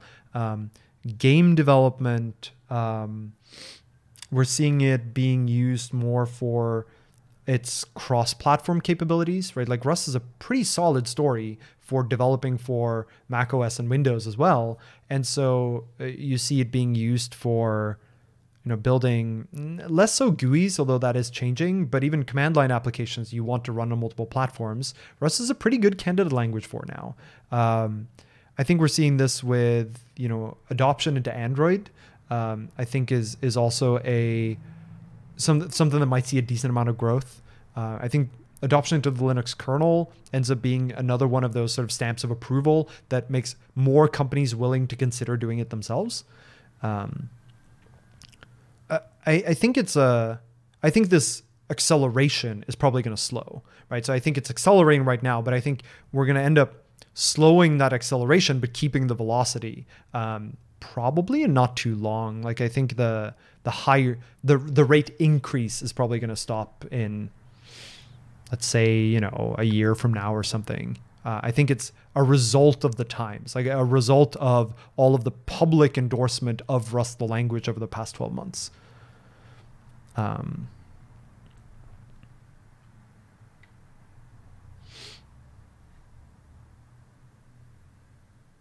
can you talk about rust adoption at aws um, this gets into I don't want to say murky waters, but it gets into the, like me having to make a judgment call about what things I am and am not allowed to say that Amazon is doing. Uh, so I'm not going to go too deep into that. What I will say is like, you know, m- my job at Amazon is um, encouraging Rust adoption, not you know at all costs, but just advocating for where appropriate, and also making the Rust experience the best that it can be internally. And that's going very well. Uh, in general, I think the Rust experience at Amazon is a is a very good one. And you know the the fact that there's been this investment in making the experience of using Rust a good one is indicative that the the company certainly believes in the language, right? Like that that's that's what I take from that decision to invest in the, the developer experience. All right. Uh, would you rather fly in a plane written with Rust software in it versus, let's say, Ada software or Lisp like language like Clojure? Um, uh, what I'll say here is Rust is still a young language. Um, so I don't think it has quite the safety posture of a language like Ada, which you know has been dedicated to this from arguably the start and for a very long time. Um, I I think Rust could get there, but I do think there are some things that we still want to see there. Things like um, you know long term stability of Rust, of you know supporting older versions to, that where things are known to be stable, uh, whereas you know if you're building airplane software using Rust nightly, that seems unfortunate. But the likelihood of you having to do so is also higher than it is with Ada, where you're not going to be using something that that's equivalent to nightly. Um, same applies to you know the ecosystem around it, the testing. You know, I, I know that Rust has gone through a lot of testing, but I don't know that it's gone through the same kind of formal testing and formal testing over time like Ada has. Um, so I think I, my vote here would be I would go with Ada for now, but I think Rust has the the potential to be a, a good candidate here.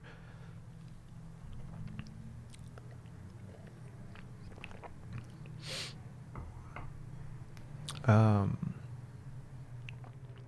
would you deliver packages with drones running firmware written in Rust? I, I mean, I think it's the same kind of argument, right? Of I would rather it be written in Rust than in C. I would, if it was already written in Ada, I would continue to use the ones written in Ada. Um, but I think for a you know a greenfield project, you're relatively unlikely to use Ada. Um, you might choose between Rust and C, and there I think the choice is pretty obvious. Um, What are your favorite podcasts? Oh, let's see. Let me open my my podcast app here. Uh, let's see. Let's see. Let's see.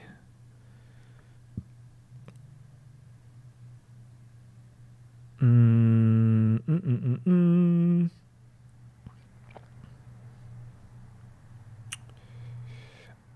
I'm current. Oh, I recently listened to a podcast called Hot Money from the Financial Times, which I thought was really interesting. It's a um, it's a documentary podcast about the um, the finance behind the porn industry. Uh, I, I thought it was it was a really interesting thing to listen to. I think you know that there was a lot of stuff I didn't know and, and thought was fascinating. Um, Freakonomics Radio is fantastic. I think I've listened to every episode. It's it's great. If you haven't listened to it, um, there's a podcast called "You Are Not So Smart." Or so to explain what Freakonomics is first, before I move on. Freakonomics is so there's a book called Freakonomics, which was about uh, I don't know I don't know how best to describe it. Um, the implications and nuances of the economic system in a way that's understandable to people who aren't economists.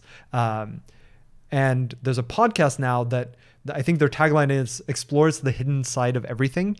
Um, and it's essentially, you know, they, they go into really interesting questions like, you know, how do we measure whether working from home works well or not? Um, or whether, uh, let's, let's see what some of their most recent episodes are. Uh, has globalization failed? Uh, nuclear power isn't perfect. Is it good enough? Um, should public transit be free? And they explore it from the side of like you know economics, and I think it, I think it's a really interesting lens through which to analyze these questions through. Um, you are not so smart as a podcast about uh, social psychology, um, and it's sort of taking. I, I really like the format where the the person who runs the podcast basically interviews experts in different fields of social, social psychology and and tries to get at you know not just what are these phenomena that we have observed in, in humans and human behaviors and human thinking, um, but also how do they, what, what implications do they have for how you live your life uh, and for how we interact with uh, people in, in our lives. Um, Stuff You Should Know is a very widely known, so I'm going to skip over talking about that too much. Um,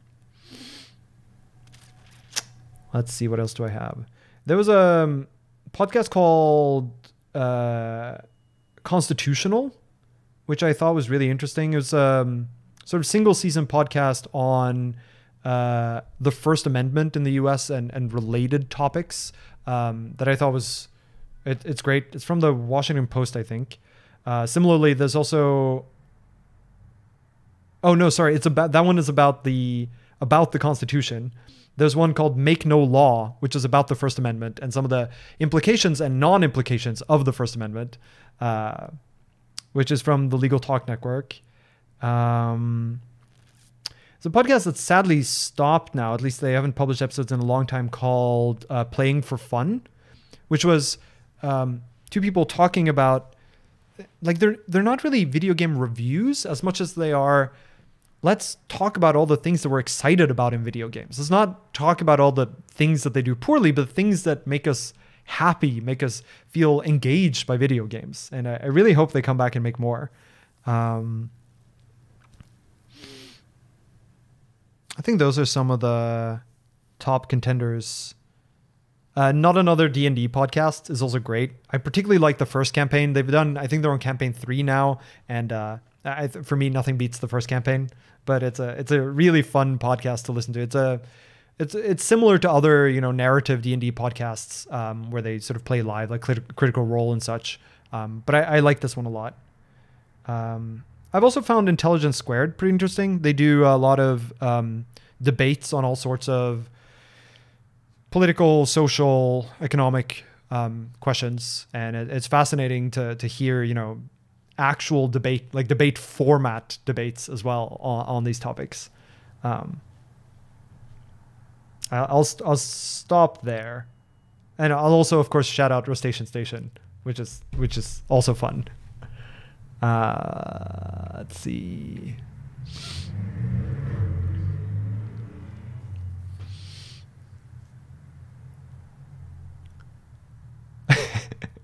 Uh, what is your podcast app? Oh, I use one called Pocket Casts, which I've been super happy with. I've used it for years. Um,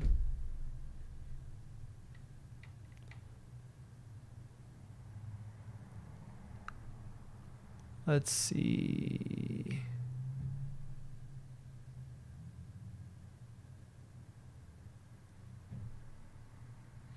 Okay.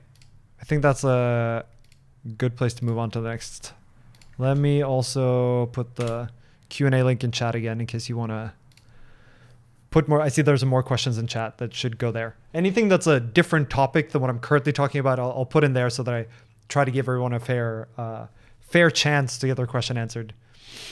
Um, you mentioned you don't enjoy LA and that you'd like to move in a couple of years. What stops you from moving now?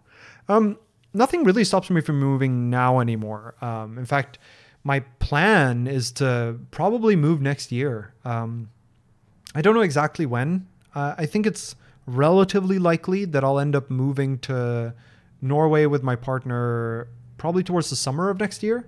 Um, it's not set in stone yet, but that's sort of what we're currently thinking. I, I think for me the the big question is going to be whether I find Oslo in particular an interesting place to live. Like one of the reasons why I, I left Norway in the first place was because it felt a little too small, maybe, um, maybe uh, uninteresting, uh, maybe you know a lack of not necessarily diversity, but diversification. Um, and you know, over the past 10 years, Oslo has changed a lot. Uh, there's a lot, there's been a lot more, you know, influx of people from all over doing many interesting things, a lot of more businesses that have popped up. The, the city has grown a fair amount. And so uh, I'm excited to see whether now it is a place where I will find that I have an interesting life. Um, and I'm also curious to see whether my partner who's from the US, um, whether she will, you know, en- enjoy living in Norway. It's, you know, it's not for everyone. It is colder during the winter. There's less light during the winter, but it's also, you know, a, a country that is a very pleasant place to live. And, you know, summers are very nice there. Uh, and then you have, you know, daylight throughout part of the night. Um, winters are cold, yes, but they're also very cozy. Um, and so, you know, I'm, I'm, I'm hoping that we both end up enjoying it. If we don't, you know, if we, if we stay there for a year and then decide that you know this is not for us. We're gonna we, we want to try somewhere else. We would probably go to london um, and try that for you know a year and see whether that's a better candidate. Um, we've both lived in london a little bit before and enjoyed it immensely. But you know since brexit it, it's become a much less attractive place to move. Um, so you know the the list of good options is not as long as I would like it to be. Um, there are other places in the in Europe too that I've considered. Um, it's a little, you know, it, it, depends on our tolerance for moving somewhere where English is not the primary language, or you know, Norwegian because I know Norwegian. Um, but like the Netherlands is a place that I've I've looked at a bunch before. Um, Germany, Spain, you know, the, I think there there are other candidates, but but certainly I think for us, Norway and, and the UK are, are pretty high on that list. Um, and there's a question here of are you going to continue working from AWS from Norway? Um, I I think so. I have been thinking about whether you know when I move is that a good time to let's say reevaluate my options, right? Because when I was initially looking for work after I graduated, first of all, I was in a different you know place in life, but also um, there were a lot of companies that I couldn't work for because they were based in Europe and couldn't sponsor a visa in the US. Um, so now, you know, if, if I move to Europe again, I, suddenly there are a lot more candidates for companies that I could work for. Um, at the same time, it's not ideal to do such a long move and also be switching your job at the same time. Uh, so, so I'll see what I do, but but I think there's a decent chance that I'll continue working for AWS as I move, and then you know you, I'll see down the line whether there's then a, a better chance to to make a change or or even to you know try full time for for teaching in open source. We'll we'll see. I don't really have a, a an answer there. Um, yeah, I've had I've had people recommend that I move to uh, to Madrid to Barcelona. That would be pretty fun too. Um, what are your problems with LA? Oh, I I despise LA.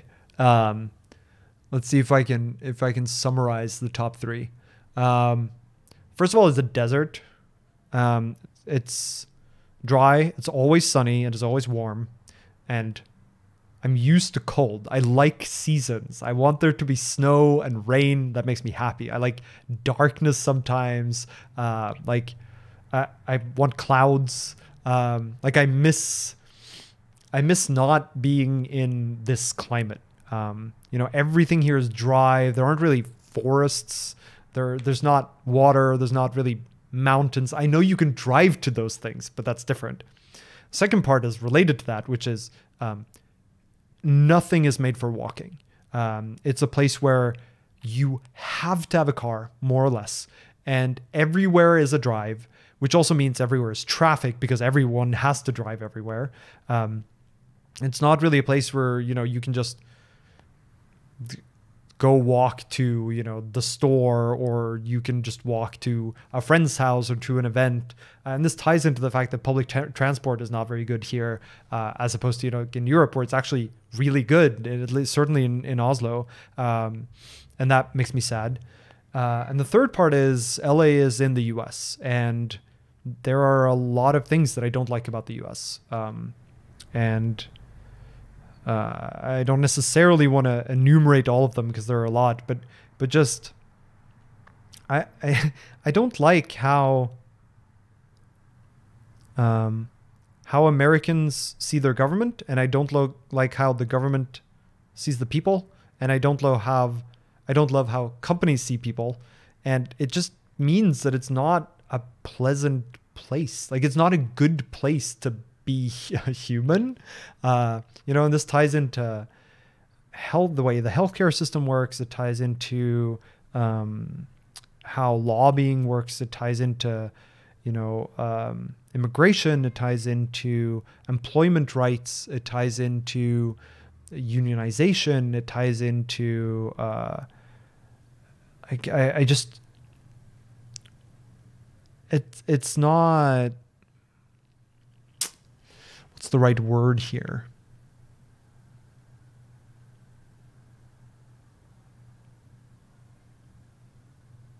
I don't know. I just I I I want to be in a place where people have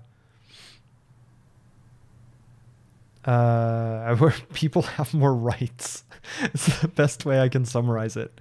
Uh, and you know, I mean, there are upsides to the U.S. too, but there there are upsides that I think I'm willing to compromise on. Right. So the the upsides are things like you know wages are certainly in you know in my sector wages are much higher here.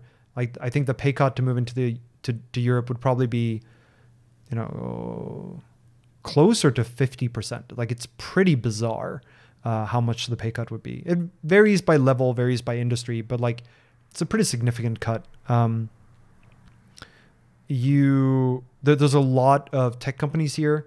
Uh, like, like if you know, given that that's the sector I'm in, working here means that you get a lot of the big opportunities. Like this is where they happen, and if you're not here, you're going to be more distance from them. You're going to have uh, less of an opportunity to be involved in in those um, uh, in those opportunities. Um, but I, I, don't think those are, are worth it for me. Come back to Australia. I, I really like Australia actually. The and and I think I would really like New Zealand too. The the big problem for me is they're too far away. Um, I don't think it's. Uh, I think it's too costly to live that far away, socially, not not economically. Um,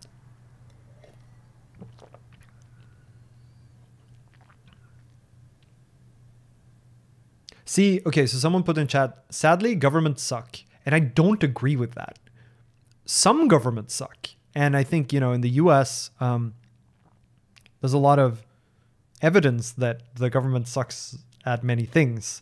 But that doesn't have to be the case. But the US has gotten itself into this unfortunate spiral of people don't trust the government. When I say that, I mean trust in multiple ways. Like they don't trust them to make the right choices. They don't trust them to execute on things well. They don't trust them to be responsible. Um, but as a result, the government ends up having a both a low bar and low investment and few resources, which in turn means they can't do those things well, and so people lose further trust. And and that's that's the case in the U.S., but that's not the case everywhere else. Um, so I, I, think it's unfortunate that um, that the U.S. has gotten into that situation. that I think it's hard to get out of. Um, what's your opinion on the visa restrictions on non-immigrant workers? It's awful. Living on a visa is abysmal. Okay, abysmal is maybe extreme, but like it means that there's so many things that I cannot do. Right, whether that is you know have a patreon or or sponsorships inside of my work it means that you know if i were to try to write a, a second book for example it's unclear that i'm allowed to do that here because it would count as work for the publisher. I'm not allowed to do any work that's not tied to my primary employer. Um, you know your healthcare is tied to employment. It's not really visa related but but it means that you have such a strong dependence on your employer that you have to be much more willing to compromise with them um, because you can't like first of all they can fire you on the day uh, in which case you also lose your health insurance on the day. But because they are your visa sponsor it also means that you need to get a job very quickly after or you have to leave the country. Uh, and like picking up and leaving is not trivial. So it's it's not a good situation to be in. And and uh, you know uh, this is going to be the case other places in the world too. Like the UK has somewhat similar limitations, although I think there I think there are some exceptions that maybe I could make use of. But but in general, working on a visa is, is not nice. Um, uh, one thing I do want to point out, so so some people in chat is like, yeah, there there are things that aren't nice about the U.S. To be clear, I'm very happy I came to the U.S. It's not as though I think it's not worth being here. It's more that this is not where I want to live long term. I think having the experience of having been here and like, you know, going to the university I went to, there there aren't good. Mm, how to phrase this? Um, the U.S. has some really good universities, some of the best in the world, and getting to go to them is worth it, um, right? So so I wouldn't take that back. Same as I'm very glad I got the opportunity to, you know, work for Amazon, for example. Like I think it's been a really interesting, unique position that I, have gotten to be in and, and work within. And I don't know that that would have happened if I hadn't been here. But, and, same with like, you know, the ability to have, you know, the kind of salary that I've had has, has also been very liberating right? It's not that I necessarily have, you know, lots of expenses, but rather it allows me to save much more so that when I move, I have more of a buffer, more of a runway to, to try other things myself. Um, and, you know, I think that's a, a, an immense upside to coming here. It's more that it's just not, it's not for me a long-term place to m- make your life be rooted. Um, I have heard good things about Canada too. I'm I'm not opposed to Canada. Um, at the same time, you know, I really like Europe. What, like being able to so easily travel to many very different countries has a lot of appeal to me. Um, and you don't really get the same with Canada. Um,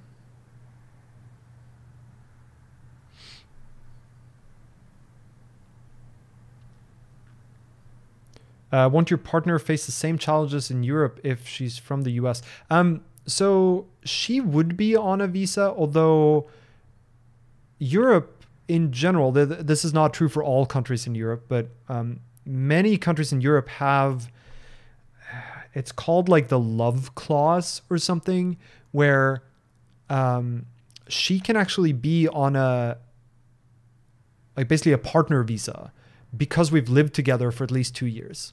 Um, and she's she's not married to someone else and I'm not married to, married to someone else. But basically, if you can prove that you are essentially life partners, um, then that is sufficient for her to be on a visa that's similar to as if we were married. Um, and that makes it much much easier because then, I mean, it is true that she would then be on a visa that's dependent on me, but that's a better position than being in one that's tied to an employer. Um, and it has much fewer restrictions uh, as well as, as far as I'm aware, precisely because it's not tied to employer sponsorship. Um, so that would be easier. Whereas in the US, there's no such clause. Um, so it would be better if, like, if we got married, then um, the visa situation would be different. But, you know, I don't really want to marry for a visa either. Um, I want to marry for the right reasons. Um,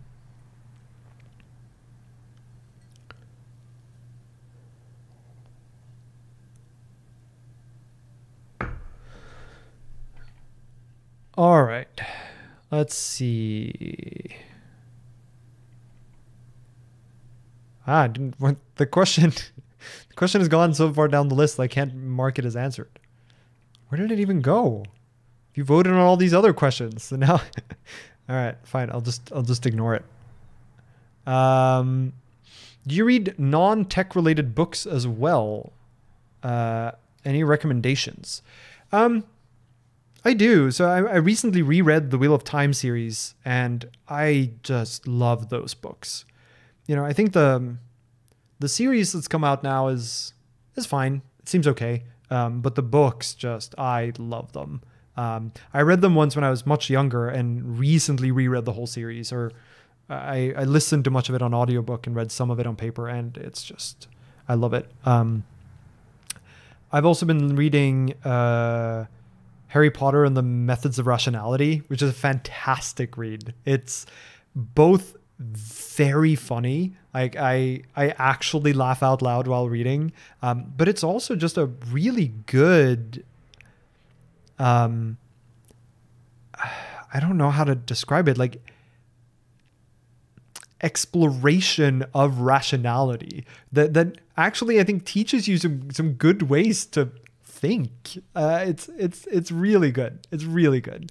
Um, what else have I been reading recently? Um, you know, Wheel of Time has taken up so much of my time that it, it's been a while since I read anything else that was nonfiction. Um, I did read shortly before I started Wheel of Time again. I read um, the Stormlight Archives. I read Mistborn. Um, I read oh, what's it called? The Kingkiller Chronicles. Um, so there's been a lot in that kind of vein for me recently, and those are I would recommend all of them. Um, they're all really fun reads. Um, what else have I read that's non-fiction recently? Let's see if I have anything here.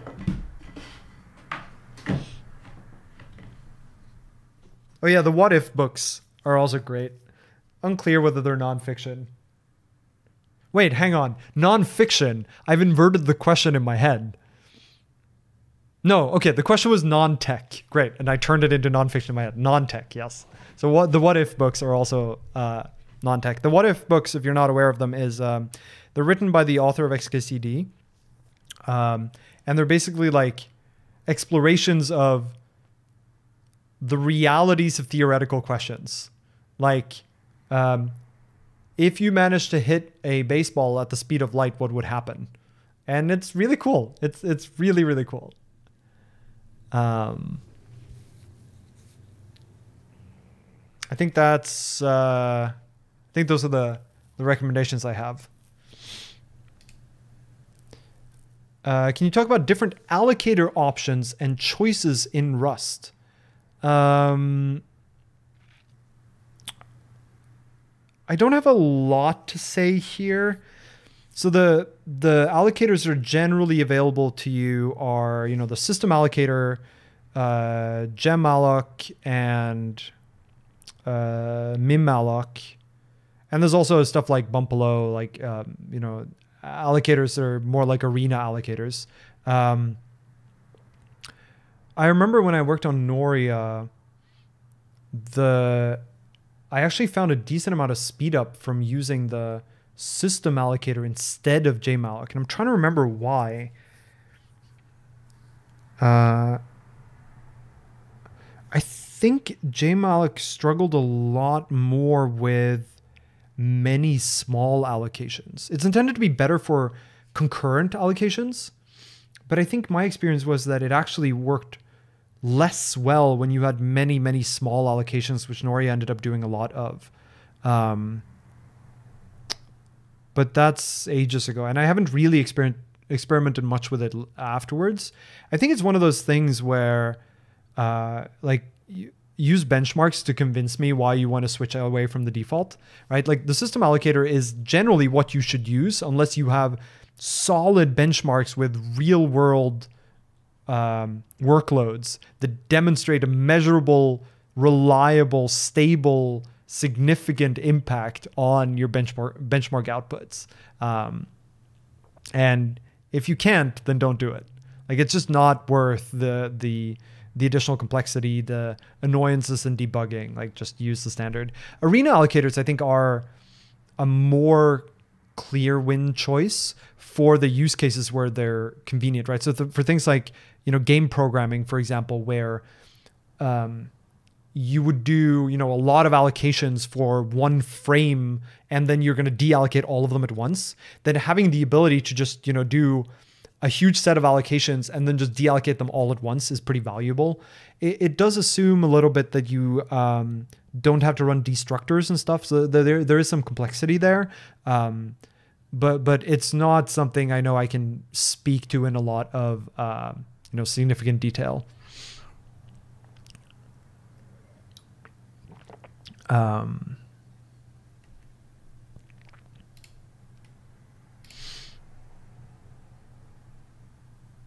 let's see. Um,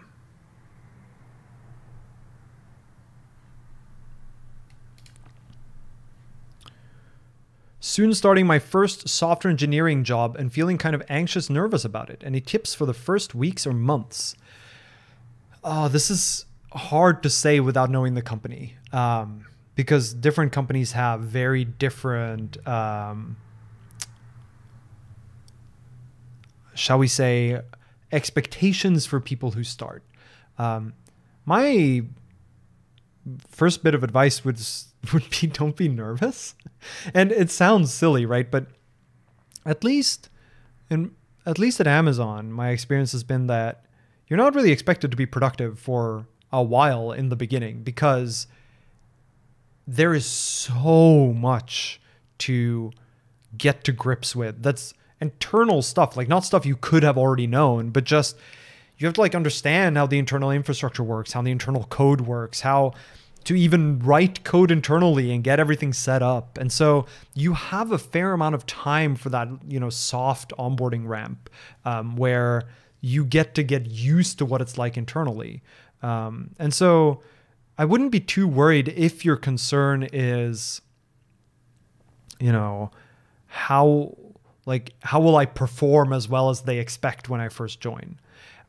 I think there's a separate nervousness around, you know, this is my this is my first job. This is my first engineering job. I have no idea whether I can, you know, program to the standards that people expect.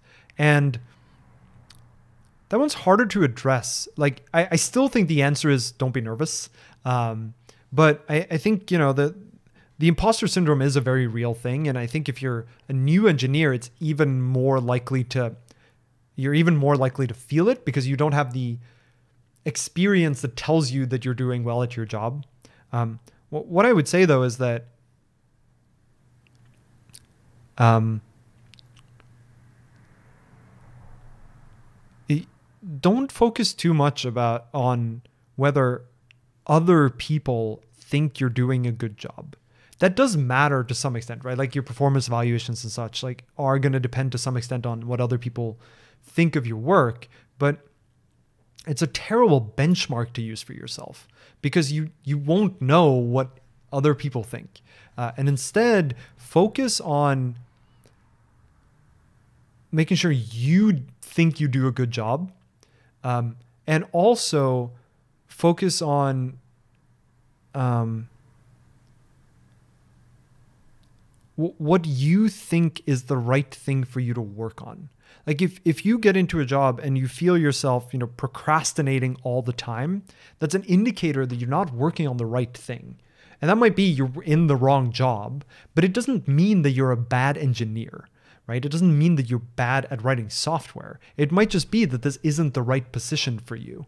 Um, and, you know, I think there's a real um, concern when you're first starting out. And I think this applies equally well later on in your career that you end up undercounting your own contributions. Um, or setting too high of a bar for yourself. And as a result, you overwork because you feel like you have to compensate, even though no one actually told you that you had to compensate, but you you feel that way. Maybe because you aren't that interested in the works, you feel like you're slacking off, but then you feel like you have to catch up because you feel like you were slacking off. Um, and it's just it's this vicious cycle where you burn out, you feel unproductive, you feel um, like you're not doing well, even though there isn't actually any evidence to demonstrate that that is the case. Um, and so I think, you know, be very mindful of the fact that you, your job is a job. It is not you. It's not your personality. It's not your value as a human, right? It is a job. Um, but also, try to find a job that you enjoy because then men, much of that nervousness is going to go away because you as you start working on it you feel that you're working on things that you enjoy doing and if that's the case you worry much less about you know whether i'm engineering good um it's a little bit of a rambling answer but but the i think overall like in general most of the pressure you feel is probably going to come from yourself if it's coming a lot from other people that indicates a different problem. That that might indicate that there's a sort of management problem essentially. It might indicate that there's a uh, a mismatch between how you want to work and what the how the company wants you to work, which might indicate that this is not the right position for you. But it should be a pretty uh, it should take a lot of evidence for you to actually be like concluding that you're not doing a good job as an engineer like focus on what measurable evidence you have for that being the case and in general that won't be the situation. Uh, there'll be something else that the problem is.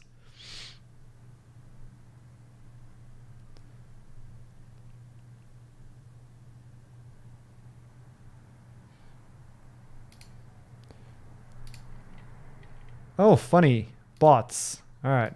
Block. Nice. And another one. Block. I love blocking bots. Bye bye. Okay. Mm. Let's see.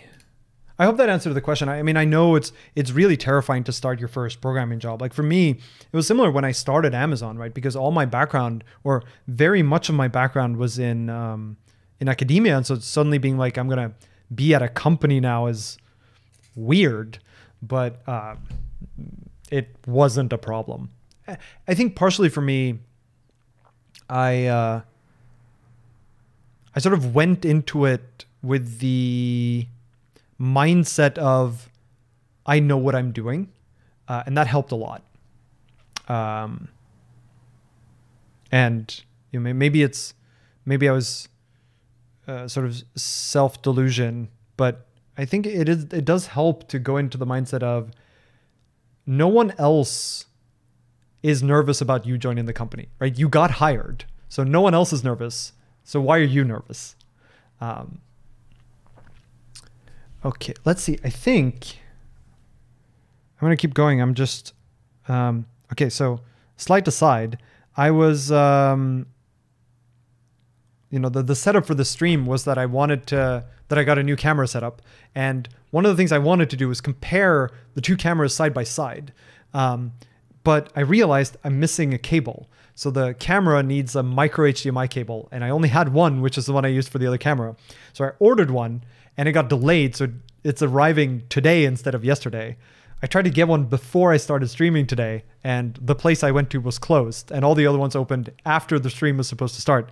But I think the cable is about to be delivered. So if it is delivered during the stream, I'll hook up the second camera and we can do a, a comparison. Um, so I'm just keeping an eye for if it gets delivered. What would you want to be if you weren't a software engineer? Um, I think it's a close race between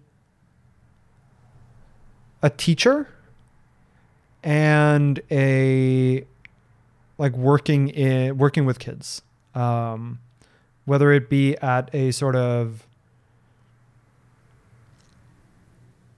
like a kindergarten or at like an activity center or something. You know, I've I've worked at a an activity camp for kids for many many years, and I I love doing that, and it's it's totally something I could do full time. It's I don't know that there are ways in which you could do it full time, but I I love working with kids. It's a lot of fun. But I also really love teaching.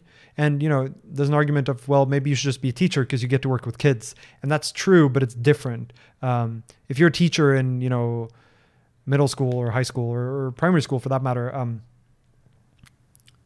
you, have a different relationship with the kids because they have to be there, and your job is to teach them. And it's true that you can develop, you know, a, a, a, good social connection with the people you teach, but at least I've my my um I don't know, expectation is that if you are like a camp counselor, for example, it's a very different experience because you get to know the kids in a in a context where you are you're not really you know trying to lead them to water uh, but instead you're there to enable them to have fun. Uh, and I, I love being in that setting too. Maybe i would do both. Maybe i would sort of time switch between them. I don't know. But i but i think realistically that's the the the best alternative i see for myself. Um yeah someone someone in chat knows the name of the camp i work at It's great. It's been so much fun. I I think I would work there for the rest of my life if the kids wouldn't find it super weird for like a you know if I'm 60 years old and still you know working at a, an activity camp for 8 to 15 year olds. um, all right, let's see.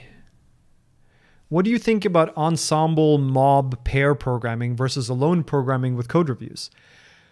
Um, I think they both have a really good place. I, I wouldn't want to do just one or the other.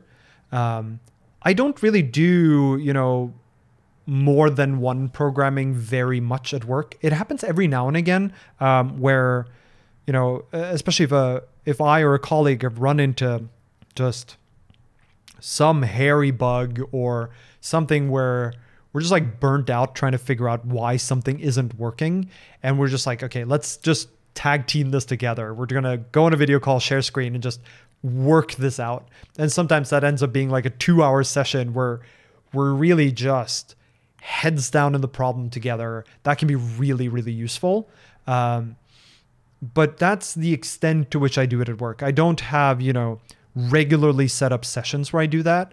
Um, but I, but I do get a lot of experience that actually with the streams that I do, which which are a little different, right? Because I'm not on a video call with anyone, but it feels like ensemble programming kind of or mob programming when I'm working with chat, right? Because for for the implementation, not so much for Crust of Rust because that that's more teaching, but for the implementation streams, like we're really building and designing an implementation together, and I found that so much fun, but also really useful to have that ongoing interaction with other people who are looking at, reading, thinking about the same problem, the same code as me.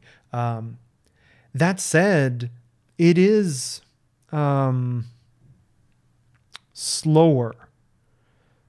Uh, maybe. I don't know if slow is the right word, but I can get a lot more work done if I work alone because I don't have to voice my thoughts. And I think that the trade off here is that sometimes voicing your thoughts is necessary to get to the best solution or even to a solution. But oftentimes it's not. Oftentimes I can solve the problem on my own, and then it's more efficient for me to do so. And so then I would rather work alone and then submit a code review for, you know, the things I might have missed. So, so I think they both have a place. I, I think my my default is to assume that I can do things on my own and then to, you know, engage in programming in in pairs in ensembles when there's a compelling reason to do so. Like when me working on my own either gets me stuck or where I'm actively trying to convey something to other people. Like if I had a colleague, for example, who's trying to understand a code base, say because they're a new engineer, I'd be happy to do a sort of pair programming session with them in order for them to learn. Because if they if I told them we'll just submit a CR and uh, like submit a PR and I'll I'll give you code reviews on it, they wouldn't learn as well from that. Uh, so so I think for teaching purposes, pair programming works really well. For getting unstuck, it works really well. But for everyday programming, I like I like working alone. Um, Which debugger do you use for Rust, and does it have a working break on panic functionality? Uh, I very rarely use a debugger for my Rust code, and I don't know why this is. It, it's it's fascinating to me, and I don't have a great answer. But it seems like you know a lot of developers really want a debugger, and I, I just very rarely reach for one. Uh, it happens, right? Well, I'll, I'll basically use GDB uh, to set breakpoints and, and work through some code, but it's pretty rare. Uh, usually, I just, just, print debugging works really well. Like set up, I set up decently good um, trace logging, and I just enabled verbose logging and run the thing, and it becomes somewhat clear what's going on fairly quickly, and I can iterate on that pretty quickly. Um, it could be that I just, you know, haven't had I haven't experienced the just how good it can be, how tight you can get the cycle with with uh, breakpoint debugging. But it's just not really been um, an area where I've, I've, felt a lot of need. Um, and, and, I think you know, uh, Chad observed the same thing where I think it heavily depends on the context in which you're doing programming, where you know maybe it's the the problem areas that I work in where debugging wouldn't really help me whereas maybe if you know if you're if you're developing um, I don't know if you're doing algorithmic development maybe like you're you're actually implementing an algorithm and you really need to trace through the individual steps and see how values change over time. Or maybe if you have a particularly complex service stack where it's like there's a bunch of code that you don't control and so you can't really instrument it with print lines and stuff very easily but that's where the bugs are so you need gdb to get into there. It, is totally true that in those cases you're more likely to need a, real debugger experience than you know in the context i work where very often i control a decent amount of the stack um, but even there you know i i will often then just patch in the dependency and just modify the source of it directly, and that that works pretty well as well. Um, so, so I think my answer here is I don't really use a debugger, uh, and therefore I don't have a great answer. But at the same time, I've found the GDB works pretty well when I do have to reach for it. Uh, it, but that's not a great answer just because it could be that the times when I have to reach for a debugger or rather the times when I don't reach for a debugger, but other people want to use a debugger, the use case is there, GDB is worse at. Um, and I, that, that would be a blind spot for me. Um,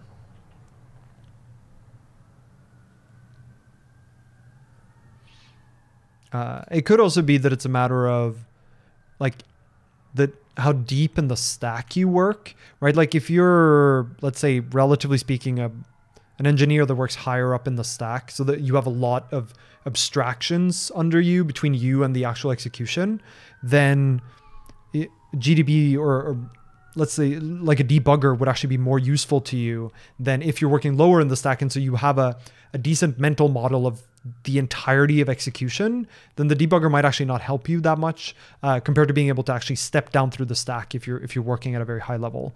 Um, but it's hard for me to say Uh, game engine de- uh, programming makes a lot of sense. It's another place where you your use for a debugger might be much higher uh, because things like print debugging just won't work. Uh, there'll be there'll be too much output. Uh, it'll be too hard to parse through. I do remember that you know when working on Noria, which was a very high performance, low latency system. Um, it was certainly true that there I used a debugger much more than I do now because it had, you know, there was some just execution loops where I just couldn't do print debugging or or where the bug would disappear if I did print debugging. Uh, and so I needed to do, you know, watchers and breakpoints and whatnot. Um, after you finished your undergraduate degree, why did you go for the academic path? What is your thinking behind that? You know, I don't know that it was quite that intentional. I think what happened was I, I finished my bachelor's and I was like, well, uh, I I want to study more. Like I, I just wanted to I wanted to learn more things. And I think partially, you know, my undergrad was very general computer science. And I felt like there were a lot of um I felt like there were a lot of technical things that I still wanted to learn that were more technical in nature than like, you know, general purpose programming. And so that's why I applied to a master's program was like, well, I applied partially because I didn't get into MIT. And so I wanted to find a master's program to do so I could apply again. Um, but but that desire to ultimately go to MIT as well was was driven by I think the desire to really specialize and learn um, I don't know I I wanted to le- learn everything there was to learn. Like I think I I think I have a real hunger for learning, uh, and you know, academia is sort of designed for that. Um, and so it felt like a very natural course, just keep on going in the in the track that I was in, and, and I didn't really feel a strong pull towards working in industry. Um, it just didn't. Uh, that didn't seem like a particularly compelling path to me. Um, I think that changed over the course of the PhD just because I felt like, okay, I, I really have learned a lot of specialization now and now I want to see the the practical applications of that work because during your PhD you, you do end up with a very academic focus. And for me at least that was frustrating because I felt like you know there's a lot of cool research here but it doesn't matter if it's not practical. And therefore I, I wanted to I felt more of that need, that drive, that desire to um, go into industry and, and work more on the pr- practical applications of that kind of work. Um, I think you know, one thing the academic track gave me a lot of, which I think is, which I appreciated a lot, was the the freedom to choose what you work on. Like in industry, you know, you're you're very constrained, right? You need to work on things that matter to the business. Um, and you know there can be a decent amount of freedom in that too. A lot of things might matter to the business, but you know eh, during the PhD program especially, I had so much freedom to just work on things I thought were interesting, things I thought had the opportunity to have interesting questions in them. I got to do a lot of work in open source. That's when I got to start doing streams um, because I had the the time, frankly, and the and the lack of constraints on what I could spend my workday on. Um, and and so I, I think a lot of my my my set of side projects essentially came from being in academia and therefore having that that leeway, that time, that that uh, flexibility to to branch out. Um, are PhDs funded in the U.S. or did you need to pay for it? It it varies heavily from university to university. Um, at MIT, um, it was paid for. Um, so uh, the paid for is is with a bunch of asterisks. Basically, every semester you can either be a research assistant for a professor or a lab, and then they basically pay pay you a stipend, or you can work as a teaching assistant for a class, and MIT pays you the the same stipend amount, uh, or you can be on like a scholarship from, you know, one of the one of the science foundations, for example, in in the U.S. Um, for me, it, it worked out pretty well. I was a teaching assistant for many semesters, many more than are required because I think it's really fun to teach. Um, but there were also several semesters where I was just a research assistant for the professor who was my advisor, and the research I was doing was my own work. So, so it, it just worked out really well.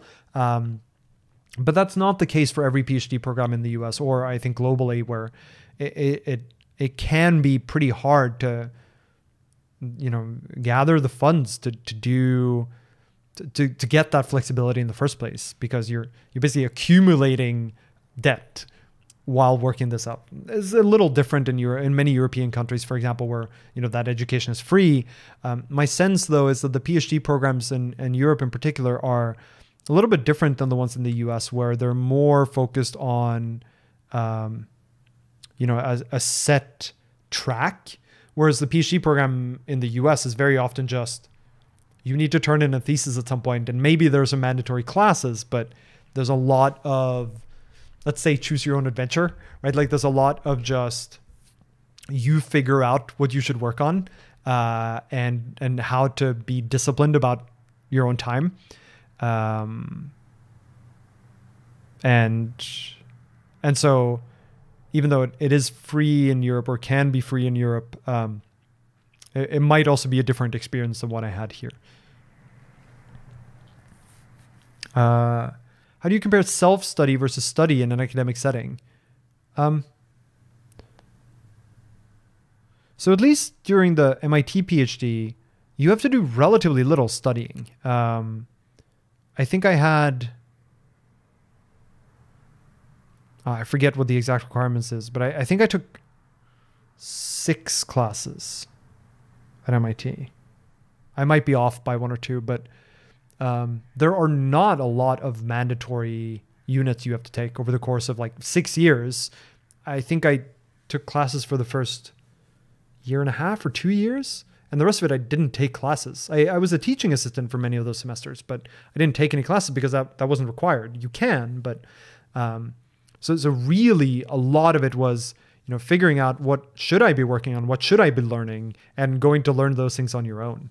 So there's a lot of, of self-study, um, but that varies from university to university too. I think at um, Berkeley, for example, you take a lot more classes that are, you know, required as a as a uh, or you need to take them in order to graduate. And you know, I like the freedom that I got, but but it also requires a lot a lot more um, self discipline so that you don't end up just not doing work, and so it takes forever you to graduate. Um, are you still working on the topics related to your PhD research? No, I'm not. Uh, in fact, the work at, at Amazon that I do is completely unrelated to my um, to my PhD work. It's like my PhD work was on you know a, a fast database, and my work now is on developer experience tooling. Um, it's very very different. I did co-found a company called ReadySet that is um, basically building a commercial version of Noria of the of my PhD thesis work. Um, but it's a but I'm only involved in that company in this in that I was a co-founder on it. I don't work for the company. Um,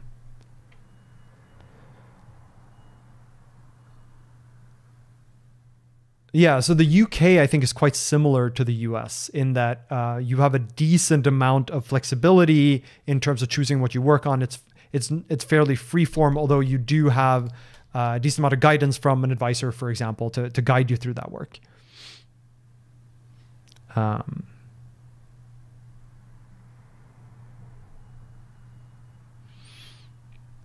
all right.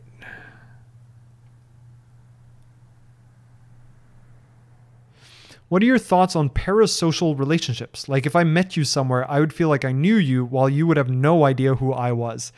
It's a great question.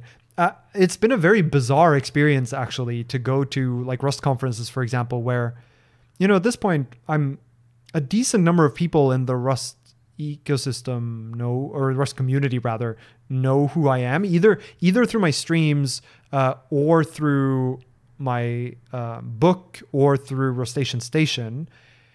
And it means that when I go to these conferences, suddenly like people recognize me, people know things about me or what I've done. And it's it's a it's a pretty bizarre experience um, because I, I, I mean as as the question says like I have no who, idea who they are and yet they they come up to me as though they know me, and in some sense they do. And to be clear, I think that's great. I think it, it's a it's a fun experience, but it is very bizarre, um, and I, I don't always know how to how to react to it. Um, that said, you know, I, I think I've always been a. that's not true. I have become a fairly social person. Like I'm I'm pretty good at um, just picking up with someone as if I've known them for a long time. Uh, probably, you know, almost to the point where it's a little. Um, I almost said too much, but it depends on the the culture you're in. But but certainly, like I have very few. Uh, you know barriers on what I will talk to people about, and so if people it, like I will just not have filters on what topics are appropriate for conversation necessarily. Uh, and, and in this particular case, that actually ends up being pretty useful because it means that when people approach me as though they know me, I'll just sort of respond in kind because that is generally how I interact with people. Um, but yeah, it, it has been it has been a very weird experience uh, of of of that kind of uh, starting from different points in in the relationship in the conversation. Um,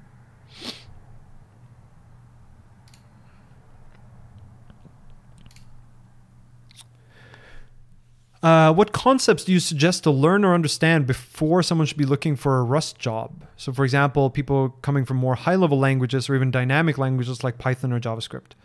Um, I think you, I think I don't know that there are specific things necessarily that I would recommend that like you need to learn this thing in order to take a Rust job. Um, instead, what I would advise is write something in Rust, like write a semi non-trivial command line tool, for example, or like library is a little harder, but like build a some kind of tool in Rust that does something that might be useful to you, because it, it's going to force you to learn a lot of things. And once you've learned them, you're a significant step up from having come from another language, like a, a dynamically programmed, a dynamically interpreted language, for example, dynamically typed. Um, and while you're building that program in Rust, try to make sure that you understand all the pieces of it. Uh, it it's very easy to do things like, oh, I need to do this thing. I'm going to use a crate. I'm going to copy this paste from this code from Stack Overflow where someone told me how to do it, and then be like, okay, I managed to build a binary that does the thing that I want. Uh, it's it's tempting to do that and it's easy to do that, but I think if your goal is to become more comfortable with Rust so that you can use it in a professional setting, then you want to dig one level deeper and be like, do I actually understand all of the code that's in this program I just wrote? And if you if you take that extra step and you really dig into learning those pieces, um, I think you're in a pretty good position. You're going to be you know junior level in terms of your Rust knowledge, but even so, that that's often enough to get started if I have to give if I had to give one recommendation for a thing you should invest in understanding in Rust, I think it's trait bounds. Um, I think a lot of people who work with Rust have a sort of cursory knowledge of trait bounds. Like I kind of sort of know what's going on. And really digging in and understanding the type system and, and in particular how trait bounds work out in Rust is it, it gives some pretty hard to measure rewards. It, it you're gonna find that there's a barrier that's suddenly gone in trying to understand what a library does or a function signature or you know why the compiler is yelling at you when certain trait bounds aren't aren't applied. Um, like I think that's one of the like worth investing time in understanding properly. Um, so that maybe would be my recommendation, but but primary recommendation is write something real in Rust and make sure you really understand it. Um, what made you choose MIT? Uh, this one is is uh, is funny because I think I chose MIT when I was like a child.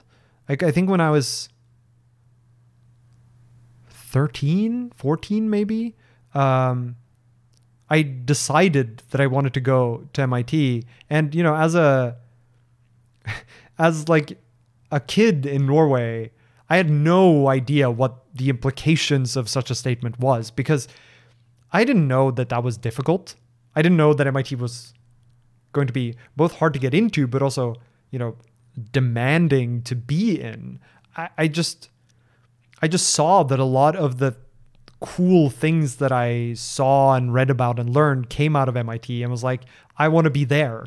Um, and and so that became my sort of long-term goal semi accidentally and without understanding that that was a long road to start down um, and you know as i got closer to making that goal a reality which was really you know when when i ultimately got accepted to MIT, it was after finishing my master's degree in the UK.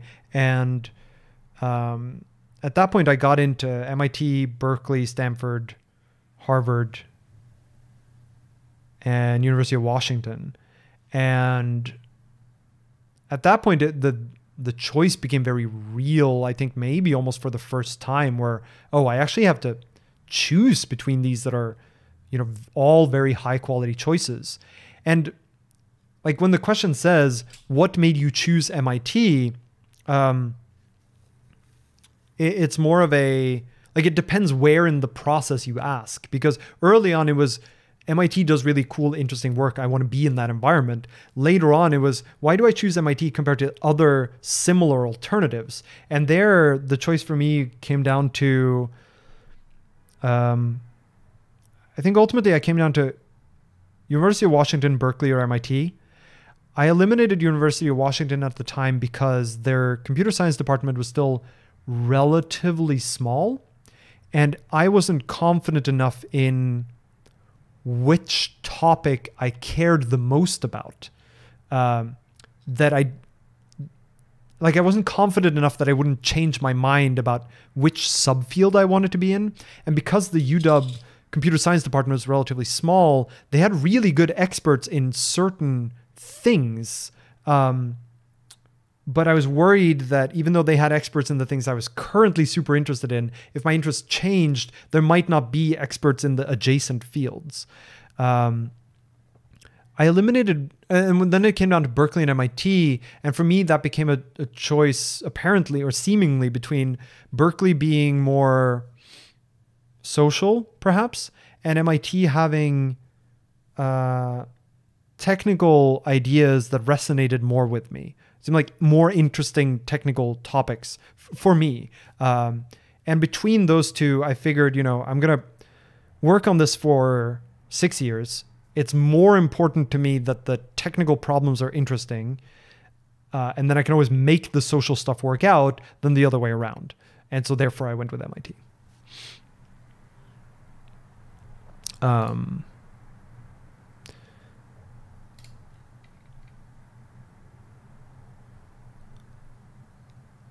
let's see. Uh, what do you think of Elon Musk? Do you plan on quitting Twitter? Um, okay, I, I think Elon Musk is an ass. Uh, I also think he's a smartass. I'm unsure whether he's smart. Um, I think that's my my s- summary assessment of Elon Musk. Um, in terms of planning to quit Twitter, that that's tougher because I think Twitter does give me a lot of value, not just in terms of like, you know, a lot of people are on there, so it, it it's easy to reach many people, and it's a format that I like decently well, um, but also because there are many people there. I, over the years, I've accumulated, I think, a a pretty good. Um, set of people that I follow so that I get a lot of value out of reading my you know Twitter timeline stream um, and it's hard to replicate that elsewhere um, but at the same time I, I don't think it's I don't know how long Twitter is going to remain a good place to be so one of the things I've thought about is to make Twitter sort of read only for me. So move to another platform in terms of where I would post things, where I would write, and then still consume things from Twitter. But that raises other questions like, you know, um, it feels unnatural to see a tweet and want to respond to it, but respond on a different platform. Because then the author of that thing won't see the thing I post. I can post a link to it on there, but then that gets weird too because what if they reply to the link um, or if i see something interesting on twitter do i share the link to it on this other platform and then have people like that that means that i'm no longer you know signal boosting in quite the same way right ideally i want to give attribution to the author and have the author get you know likes and retweets and follows and whatnot but if they're on a different platform that gets a little weird whereas if i retweet it it it sort of directly gets the attribution of the author. Um, so I, there are a bunch of open questions there, and and even things like you know which plat which alternative platform is the one that I would want to switch to. Um, I've you know I've been on Mastodon for a while, and I keep forgetting that I have one. I keep forgetting to put things there, and multi-posting is really inconvenient. And and not just you know I could automate it, but it's also just it means that I have to monitor multiple places where replies come back. It means that I have to cater to multiple different limitations on, you know, how long can a tweet be? What, how is it presented? Um, it's, it's awkward to, to post to many places. Um, and so then the question becomes, should I just pick one? And like, if whether that be, you know, Mastodon or cohost or something else, like if I'm just on one platform, that that might help with that problem. But suddenly that means you know anyone who's on the other platforms is now not connected. They, they're not they would have to move to that platform to to get what i write. But it would solve the problem of having to split my attention too many ways i don't have an answer um, I, I think quitting twitter right now is not something i'm going to do but I do think that I will sort of soft move to something, and and I'd have to figure out what that transition plan looks like. And it's also the question of I would want to make sure that the thing I move to is more sustainable. There's an argument to like Patreon could be that thing, right? I could move to a platform that is also the place where people where I would post, you know, content that is is limited to people who pay, for example. But I don't love that model either. Patreon is also not a great social platform, so I, I don't know where I would go instead. Is sort of part of the the question here, right? Um,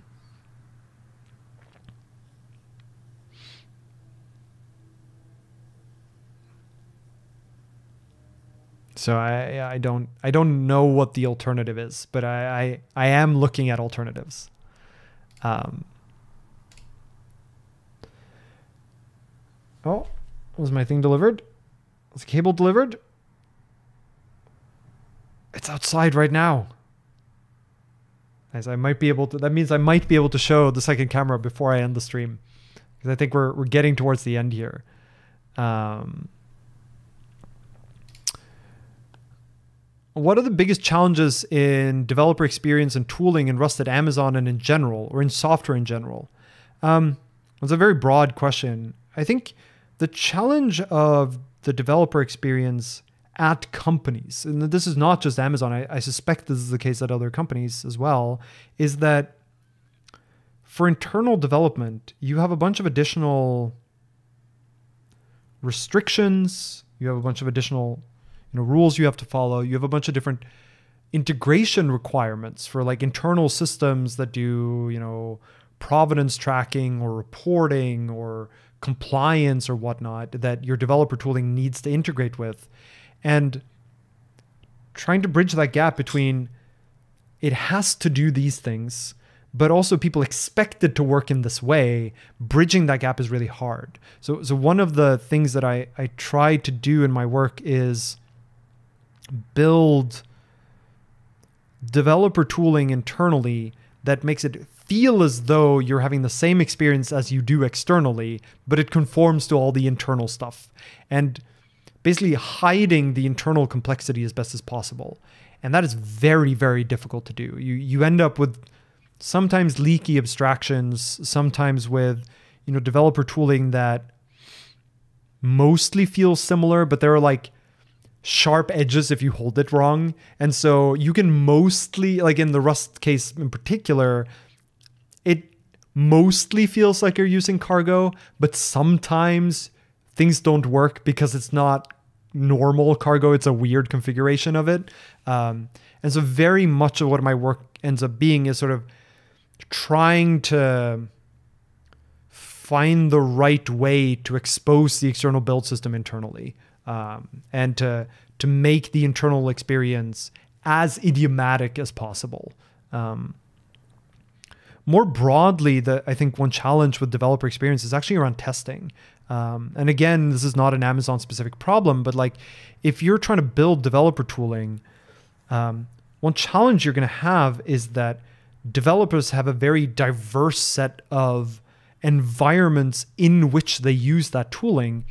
And you don't have a great way of testing against all those environments, right? Like as as a trivial example, you know, if um, if you're building tooling that you expect to work on Windows and Mac OS and Linux and whatnot, then okay, you might have CI that can run your test suite. You might have CI that can um, you know check that it compiles on all those platforms. But do you have CI that will, or do you have, I guess CI is the the appropriate term here. Do you have CI that checks that the tool you work you built works even if executed within an embedded terminal inside of IntelliJ. And sometimes that won't be the case. Um, or, you know, do you have um, tooling that allows you to test whether this also works when used in the context of the Windows subsystem for Linux?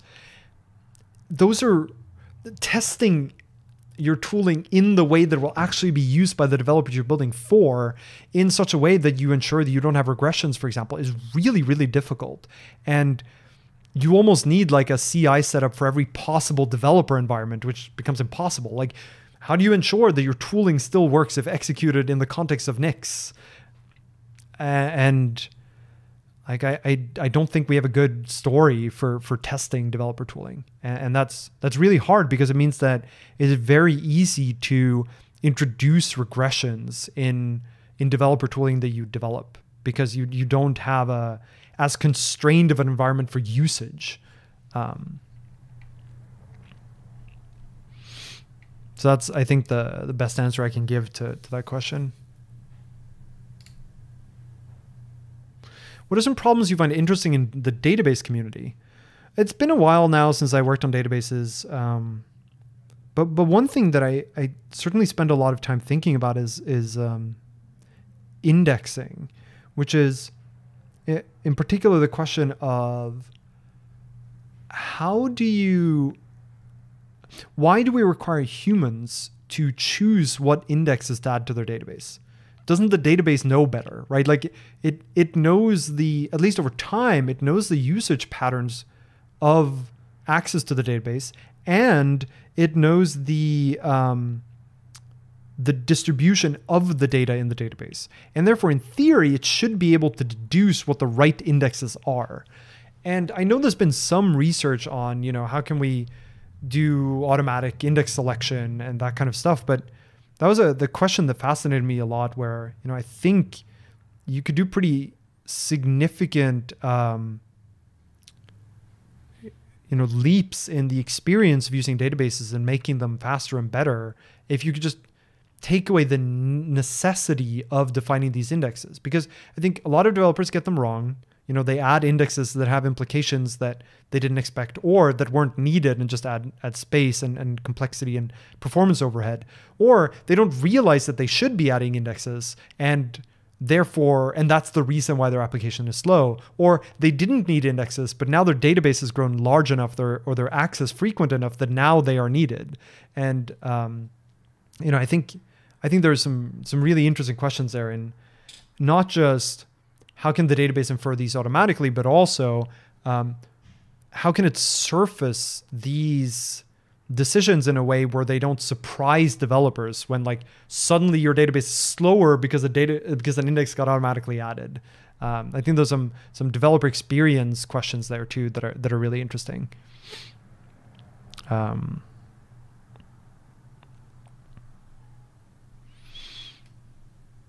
let's see. How do you choose between shared memory and the actor pattern for concurrency? Um, so, so one challenge that actors has is that you need to have operations that make sense to do in a relatively single-threaded context.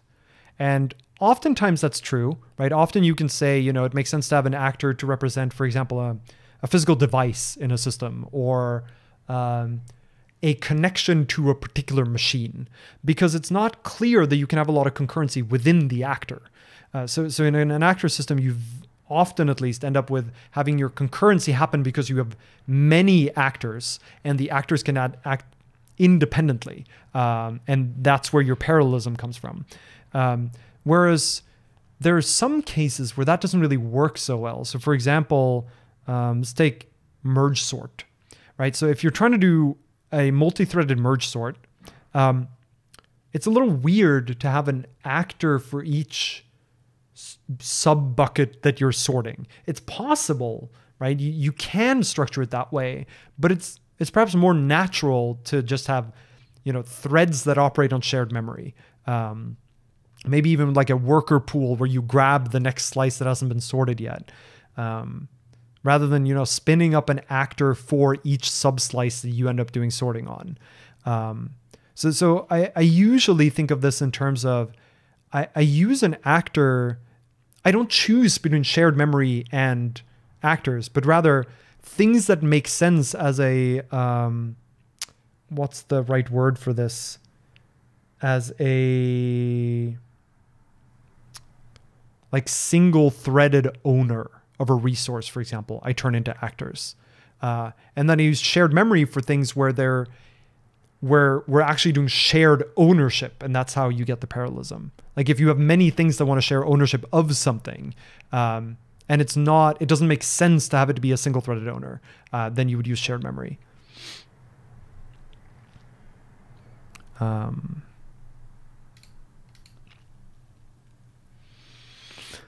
Do you think there's value in doing a PhD for six plus years if your goal is to join industry? I see a lot of PhD students drop out with an MS after spending three plus years.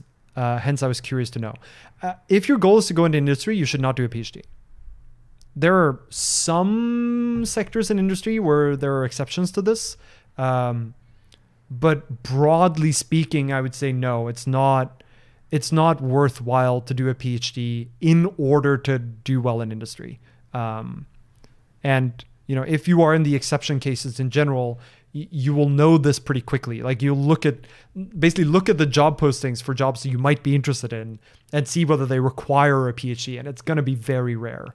Um, so so you know the, the phd is as i mentioned earlier a pretty big opportunity cost and it's not clear that you recover any of that cost later on um, I, I do think that you know there's a lot of value in the the the freedom that you get by by doing a PhD and you get to like, branch out, learn more about what things you care about, and that might change which industry you go into in the first place or what kind of job you look for. But if you have a particular goal of going into this part of industry, then a PhD, I don't think is the path to get there. And certainly, if if industry appeals to you, oh, thanks. Um, if industry appeals to you, then uh, then you might not like the PhD life either. You might not like the PhD work. It it might not be like it's just going to be painful to you. And I think that's one of the reasons why people end up leaving early is exactly because it doesn't match the things that they enjoy doing. Um so general answer no. Um Oh, all right. Let me see if I can plug in this camera and have it work. I got the cable. It's very exciting. Hopefully, it's the right cable. Let's see here.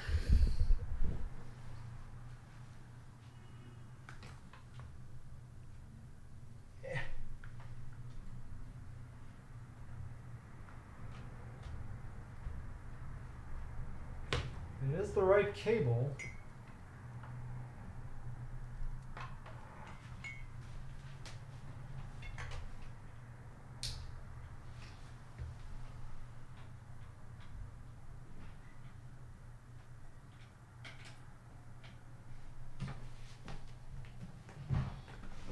Let's see here. So one of the reasons why I switched cameras was because the old one does not have autofocus. And so I need to use a long stick to sit back and then point it at the shutter button and hold it down a little so that it'll focus. It's real stupid. Uh, all right, let's see here. Let's see if this will work. Um, so I go over here. And then if I now do this, aha! Oh, is one of them flipped but not the other? No, I think they're. Let's see. Yeah, they both they're both the same. Okay, so here's uh, old and new, and I guess they're not quite aligned. I think this needs to go.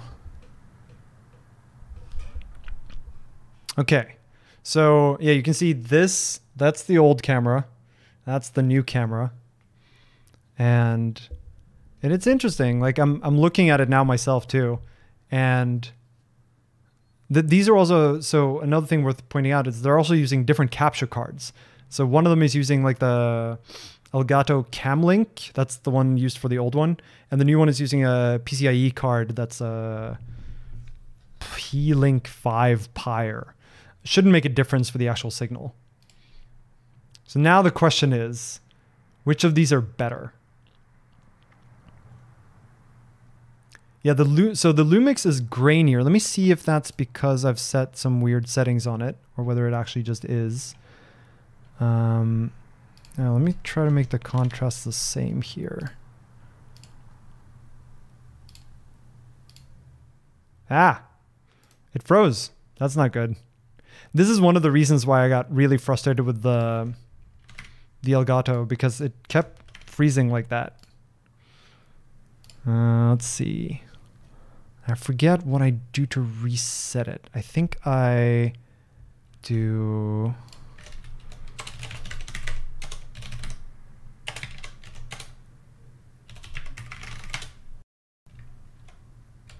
No, no, it's still unhappy with me.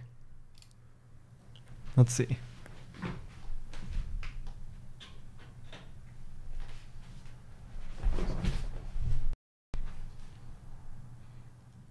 Yeah, so the other thing that's uh, really frustrating about the old one is it's really hard to get it to reset if it breaks. There we go.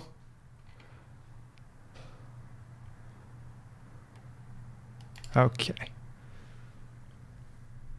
Yeah, so you see how much grainier the old one is? And also, remember, no autofocus, whereas this one does. Um, I think the old one also, the saturation is too high. Let me see if... Yeah, let me try one. OBS really does not like me changing these settings on the fly.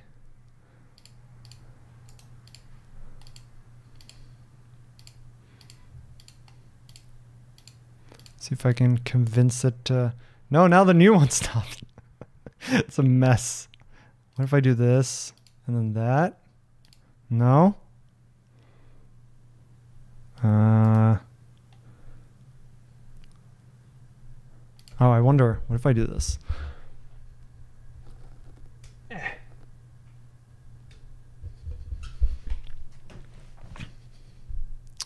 It's not easy. It's not easy. Come on, come back online.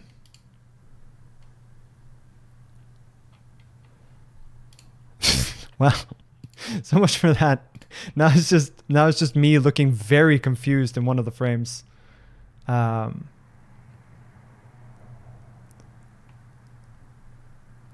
That's right. It's a it's actually a 3D stream. Um Let's see. Uh, there's no light in front of me actually. There's um it this is just natural light from Windows. Oh, let me try to unplug it.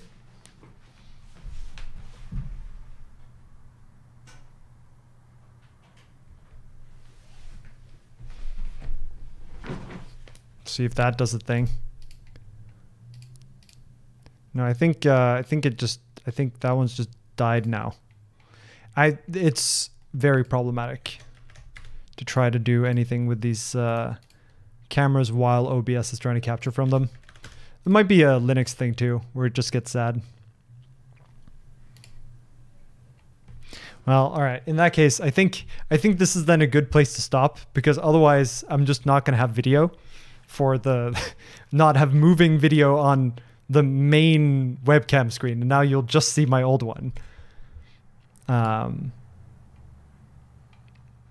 I'll see if I can post a video that just shows the comparison between these more directly. You can see now actually, now that I adjusted the, the saturation as well, so now they have the same contrast and saturation set. So if I make this similar kind of first. Um, they're actually pretty similar in terms of the color definition. It's a little more color in the in the old one, um, but it is also a fair amount grainier. It's interesting. Yeah, the new one has a better. The depth of field is a little different too. So the a new camera is a prime lens. So in particular, it is. see if I can.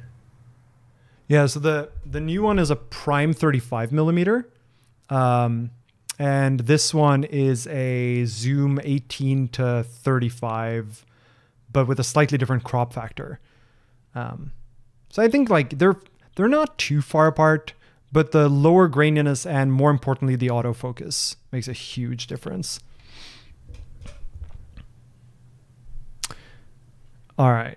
Um, I think that's where I'm gonna stop for today. Um, but looks like there are a bunch more questions, so maybe I'll do another Q and A in in not too long next. Um, but thank you all for coming out. I hope that was useful, and uh, I will see you next time. So long, everyone. Bye.